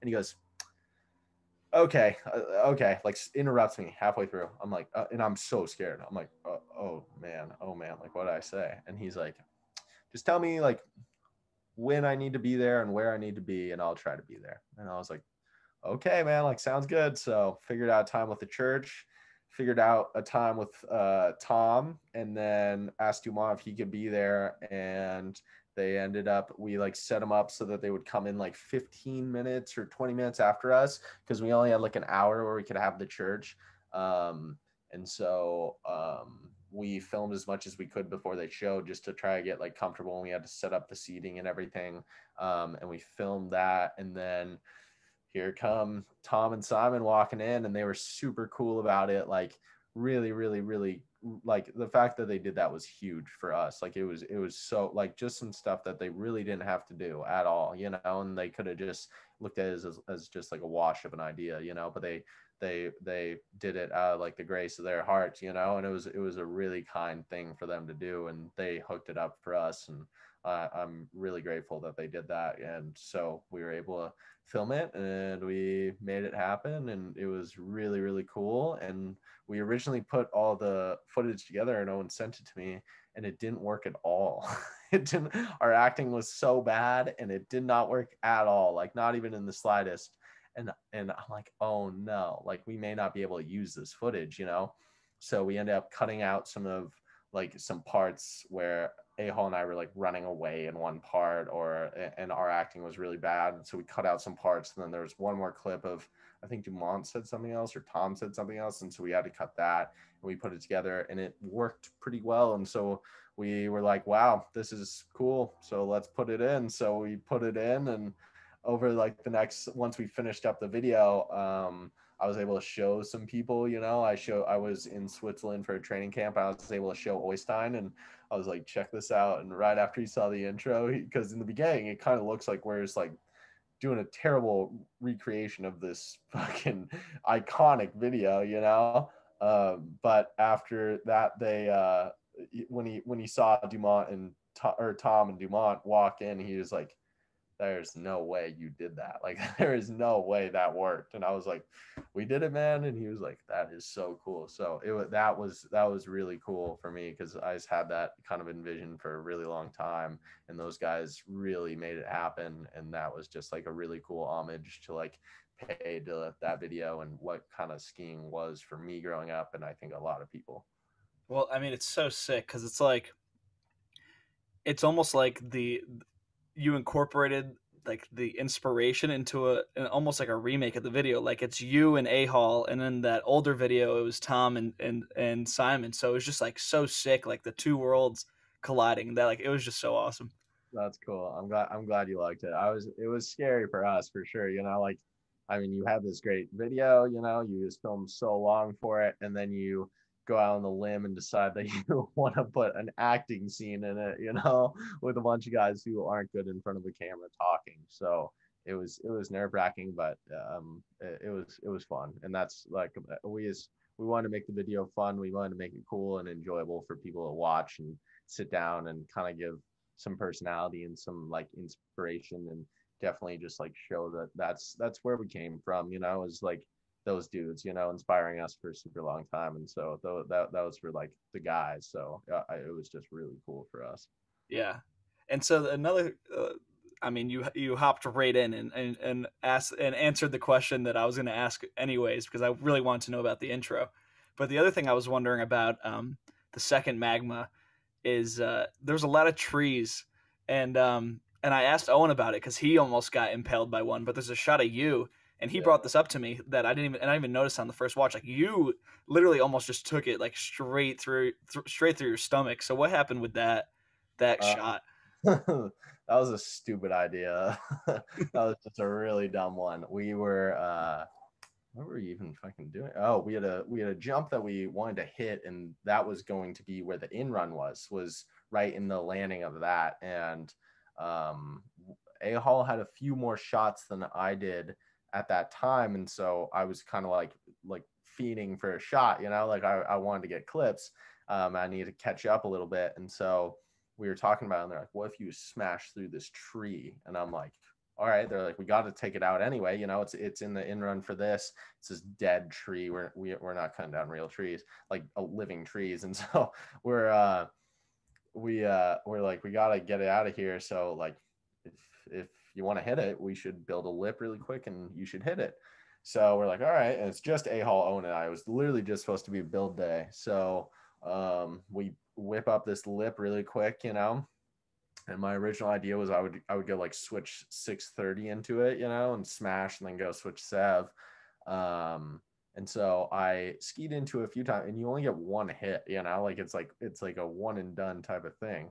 And uh and uh I I tried to hit switch just like to the side, you know, because you would see that landing.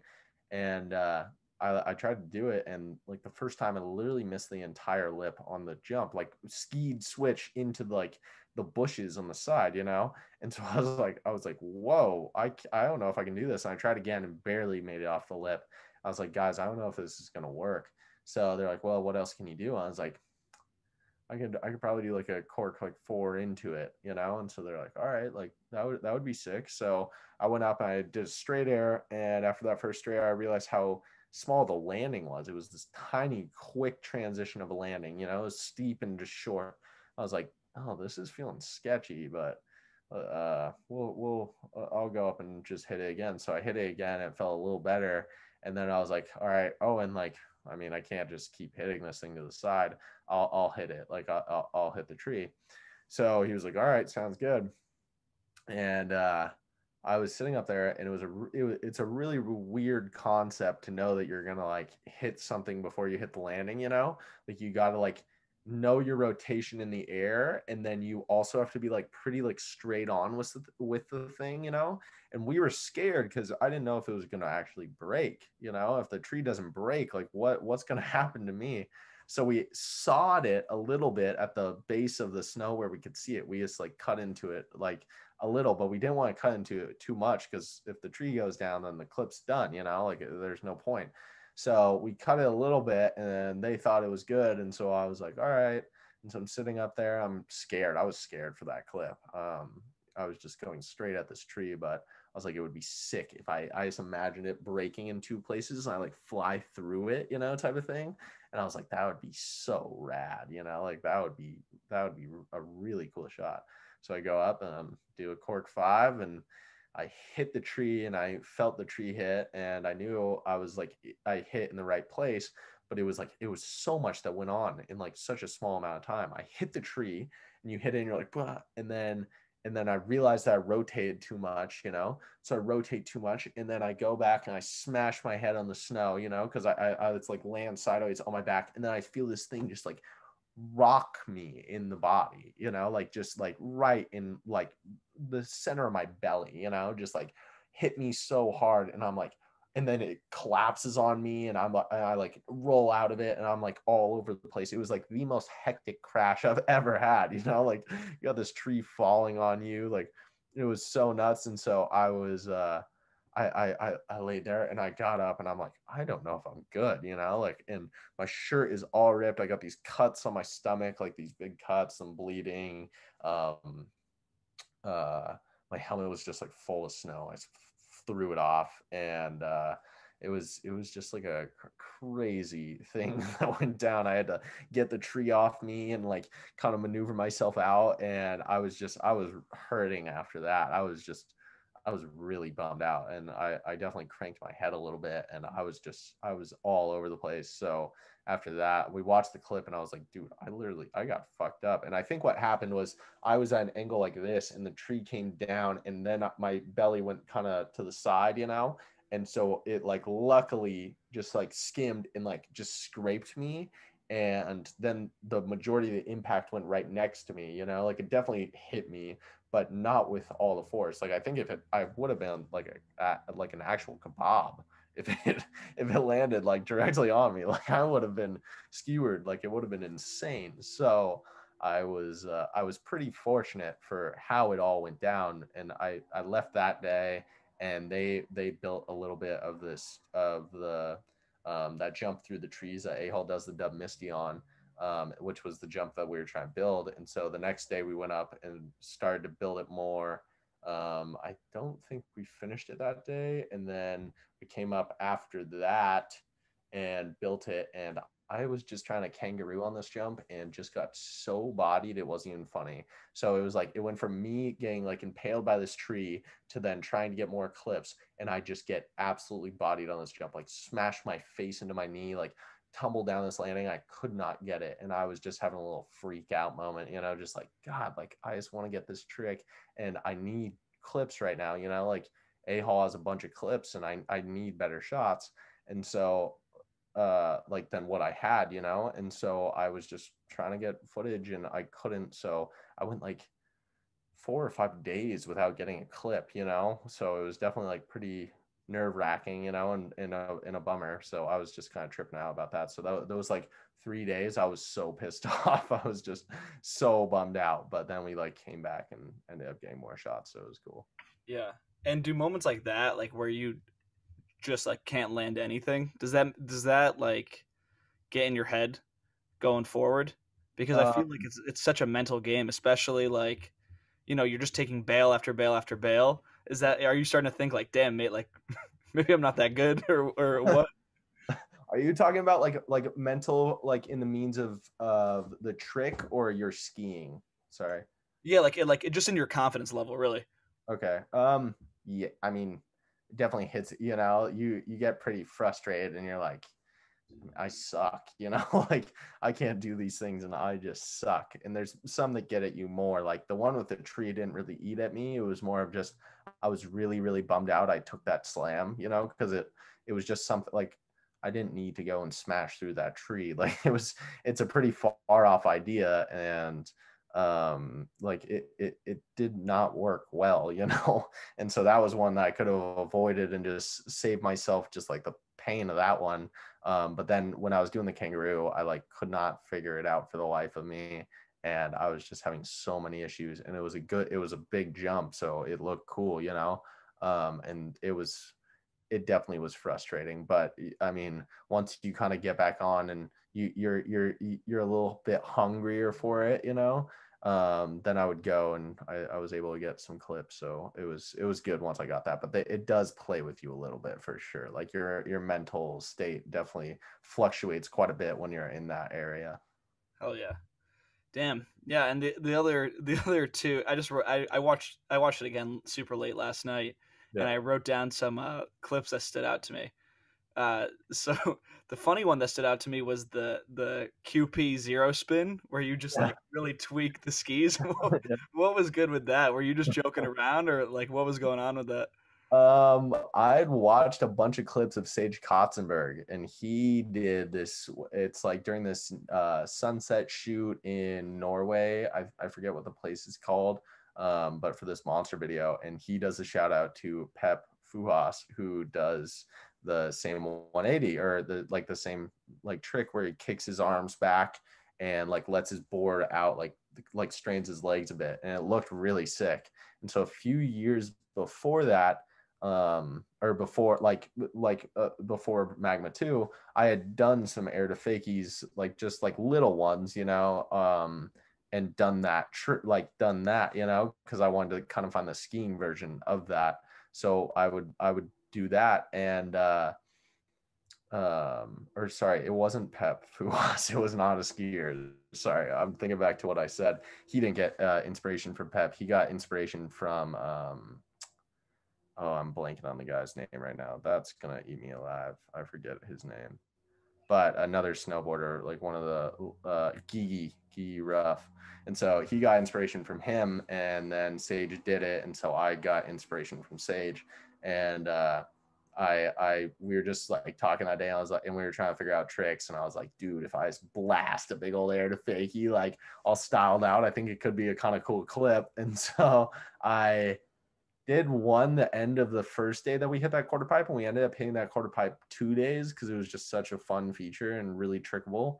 Um, so I did one. It was kind of the ice, and it wasn't that cool of a clip. Like Owen filmed it with a fisheye, and it was like not that great. And I didn't go super big, and it like wasn't super sick. And then the next day, I was like, oh, like I I, I kind of want to try that again. Like that would be a cool clip to get. And so I went up and just did it like three times or something, and got got that shot. And it's actually one of my like favorite clips I've gotten like uh, like in a little while. Like it's it's kind of cool, like just like how like punctual it is, and I kind of like just like that I was able to like kind of add my own flavor to it. So it was a snowboard inspired trick, but it was uh, uh, that trick. I'm pretty. I, I like it. It's fun. Yeah, I, I love that clip, and I think that like Owen did a really good job presenting it too. Yeah, no, he definitely did with the music dropping and the the way he filmed it was it was really cool. So I, I, I like that shot and that trick's mad fun actually. You can just like see quite a bit with it, so it was it was cool. Yeah, and then the the last trick that stood out to me was the um, I don't even know what you'd call it. It was like the hand plant revert on the tree yeah. where you kind of yeah. like you redirect your spin in the air. That so what what went into that? Because I feel like that takes a lot of strength to like and grip on on something that's not super like easy to grab with like mittens on. Yeah. So what was going on with that? Um, that trick was mad hard.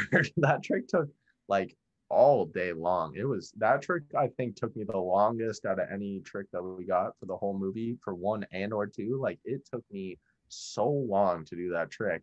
Um, and I I had talked about because I mean we were trying to come up with trick ideas, and I was like, damn, it would be really sick to hand plant a tree. Like that would be dope. And I was thinking just like if you could just do like an actual really cool hand plant, like grab and just like go back to like normal, you know, like like regular. Um, and so I was like, um, I was like, damn, that'd be really sick. And I don't like the way a lot of people hand plant on skis, like where they like jump forward and put their hand in front of them, type of shit. I I'm not a fan of that. and so I was like, I've never really seen like a like a dope hand plant like in a in a video. Like I think it would be sick, you know. So I uh I was like, word, like that would be cool. So then we built this feature and I was really, really scared to hand plant a tree. You know, like you miss your hand, you're screwed. And I'm not very good at hand plants as much as I would like to be. It just, whenever I try them, it just takes me a really long time and uh, they're really weird on skis. And so um, I was like, well, like, let's see. And Lupe, uh, he ended up coming up and he was sessioning and he ended up doing just like a hand plant. I think it was right before me. And so I saw him do it. I was like, fuck, like, all right, he made it look pretty chill. So then I I did one and it was it was scary, but it was pretty mellow. And then for for him and I, it was kind of like see who could go the biggest type of thing. so then we just kept trying to go bigger and bigger, and um, he was a lot better at him than I was. I'm I, I was really not that good at that trick. And so I, I just kept trying and I would I would get so sketchy. Like I would fly to the side or like like miss my hand or like drag my hand all the way up and just like I had all these like uh, wood chip cuts in my arm from it like it, it was insane. My my gloves were like so destroyed. And so i just kept trying and trying and trying and all day and i'm freaking out. Like there was like a few people there that came and they they weren't normally there. And sometimes i really lose my mind when i film. I just scream and just lose it you know? I'm just like like, oh, this sucks. And that day I had a lot of little freakouts. and so um, these poor people are sitting there watching me freak out at this tree. And every, like, all the other people besides, I think, who was out there? Maybe Lennon and Alex, and then Alex's girlfriend and Owen. Like everyone else had left at that point. So we're just sitting there, and I was just hiking, and I'm kind of trying to figure it out because Lupe has got me beat on the hand plant, and he got a lot of sick shots of it. And I was just like, what do I do? And so that was kind of a discussion. And then one just kind of ended up like going that direction, you know, and just like I popped out and I knew I could go that way. So I just went and I was like, oh, that would be cool. And so I think Alex was just like, yeah, I think that's what you should do. So then I went up and I tried it like probably like four or five or maybe more times, like going where I went to switch. And I ended up landing it one time and I land and smash my face on my knee, but like save it. I was like this like the whole time, and I ended up landing in this like rock hole that was right at the top of the landing that we like filled in, but it was such a big like like divot at that point that it like really affected me. But I was so tired. I was just like, dude, I'm I'm gonna take it. You know, like I was like, I don't want to do this trick anymore. you know, I was I was so over it. I was I literally had had hiked that thing all day. And when you do one trick over and over again, it's more of just like a mental game, you know, because you're just like you're overthinking the trick. You're overthinking like how much speed you need to take in. Like like I come up with these little things that I've done every time, you know, like oh I pop my skis on a certain way, so I need like the last attempt was good, so I need to pop my skis on that same way, right? Or I touch this branch, so I need to touch that branch again, you know. Like I I come up I I just go through these weird mental games the whole time. And so when you're doing a trick for that long, you come up with so many that it, it, it, you overthink the whole thing, and sometimes it just ends up not working out. So I'm sitting there touching branches and popping my skis on the same way every time, and I went into that one and or or sorry, I I landed that one and I was in the pothole and I was like, I'm gonna take the clip because Owen showed it to me and it was so hideous, like so hideous but I was like, fuck it, I'm tired. Like I'll just take it. It was it was kind of cool, you know. And A Hall's like, dude, you sure you don't want another? I'm like, do you really think I need to go up that up there and like do it again? And that's where it really comes in handy that someone's there like that that knows you better than you know you at some points, you know. And he's like, you're not gonna be happy with that. Like you should go up and do it again. I'm like, all right. And the sun was going down. he's like, you got to rush. So ran back up there put my skis on. And I think it was that next time, or maybe I did one kind of messed up and then went up and then did it again. But I got that and it was like so rewarding. I was like, oh my gosh, like fuck this. Through my helmet, like through my gloves. I was so over it. Like laid there for a while, was just dead. My shirt was soaking. My gloves were literally like they dyed my hands black because they were so wet. Like it was so bad and I was just like, fuck this. Like, I'm so happy I got that. And we looked at the clip and it was actually pretty cool. So that was also like, I would say the air to fakie, uh, that hand plant. And I think those were, and the, um, my switch alley oop dub on that quarter pipe. Those were like probably my favorite clips I got for the whole movie. So that was, I like uh, that hand plant was really high in my ranking, and it took me all day long. But it was a really cool clip, and I was I was really really stoked on that one. Yeah, I mean it's just so it's crazy. Like you're looking at the first movie, and you got and you get the triple like first try, but then you then you're trying to just do a hand plant on a tree, and it's take it's like kicking your ass all day. And that was something that like for the second one was really prevalent was that I mean the first one Alex and I like landed everything like first or second try like it wasn't hard, you know. Like I mean, we got sketchy for sure, but we just did things that we were good at, you know, and just like pushed it a little bit further. And they were on gnarly features, but we just did that for the second one. We were like trying our ass off to like create something new, and and and when you're not in like the same realm, but you're trying to make it like work, it's it was so hard. I mean, there was days where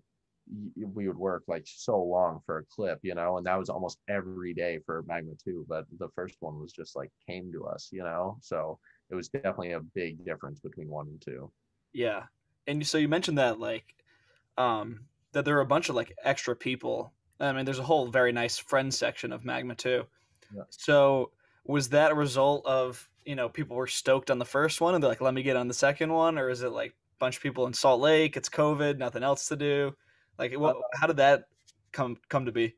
I think it was kind of a mixture of the two things. You know, like I mean, the first one had good recognition, and you know, you kind of get some respect, and people realize like what it is. You know, and who wouldn't want to be like or like have a little part of that. You know, and like be able to go out and watch or or be like in that you know like i mean if you're a skier that sounds pretty cool and it's just like we're just homies with a bunch of like those dudes and so it's like well i like i'm either sitting here doing nothing because it's covid and i have nothing to do or i'm going to go out and i'm going to ski with my homies and help them and film with them and hit this jump that like it, it's going to be a pretty good jump because they made it you know? So it was like it was like well i mean i think most people you know and and it would take that but i mean you can't get people going out every day because they're going to be exhausted and over it and that was like we had not as many people want to come out on build days and help us because it was just you know they they do have better things to do you know like we didn't. So they they uh yeah i think i think it was a combination of the two you know like you get to hit these cool features it's covid but it was also like it's it's magma it's pretty fun you know like it looks like a good time like why would i not want to be a part of it? Hell yeah. Yeah. Um so we're getting towards the end of this because we uh, we have been on for a while and i appreciate yeah. your time so no the, last, the last of my questions before we start before we get into the couple of viewer questions is um, what are your goals going forward? Because you were talking about you got you got these big ambitions, you know. So what so what goals do you have like in the competition side, and what goals do you have on the film side?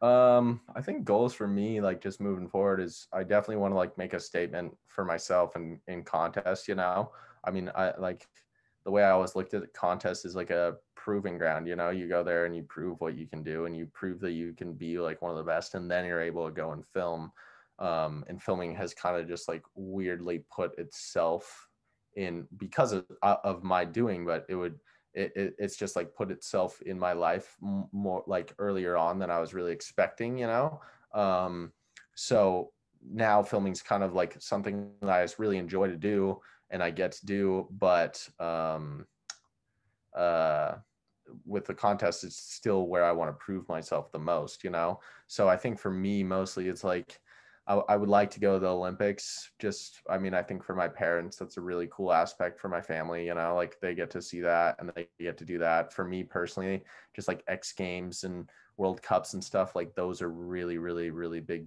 parts of the reason I skied for this whole time. So I do want to do well in those. I want to medal in those so I can have that and kind of put that on my back, you know, and know that I, I've done that. And then um, I think for the filming side of things, I just I really want to just put out the best stuff I can. You know, I want to I want to I want to be entertaining for people to watch. I want people to be stoked on like what I'm doing. I want to I want to do a lot of the things I grew up looking up to, you know, and Simon Dumont for me is a really really good example. Like he was a contest dude who went out and filmed these insane video parts and had records that he was doing and stuff like that. He made skiing seem bigger than life itself, you know? And for me, I think moving forward and I'm still young and stuff, I want like those are things I want to do. I want to make skiing seem big to people, you know? I want it to kind of catch the viewer's eye and realize that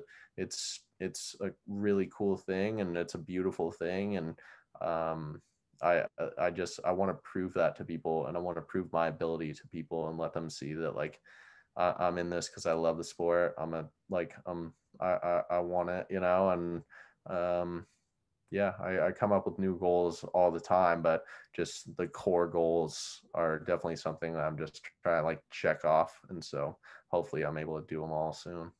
Hell yeah. I mean, that's inspiring, man. That's, uh, and it's like you're the sec it's like the second coming of of these well-rounded skiers that want to be great like great in competitions and great in the off season. So i think that's like that's what oh, i need we, we need more people like you and A Hall and like henrik's doing it too. Like we need we need more people like you guys. Word. i appreciate that. That's kind yeah. Um so i got a couple viewer questions. So the first one's from my buddy grant he asks, uh, "What's the vibe at competitions between the athletes?" Um, and you know, I was talking to him about this. Um, so this kind of spawned from both our brains, but it's like, what's the vibe between athletes within the team and like between athletes from different countries?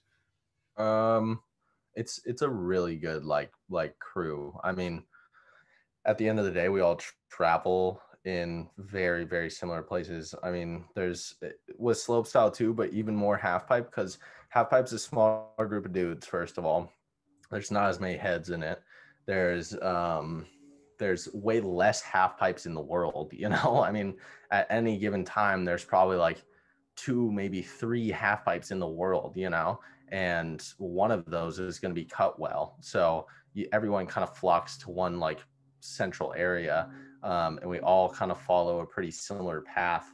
So everyone is together quite often. Um, there's no one I've really ever met in skiing where I'm like, this guy blows, you know, like he's not fun to be around, whatever.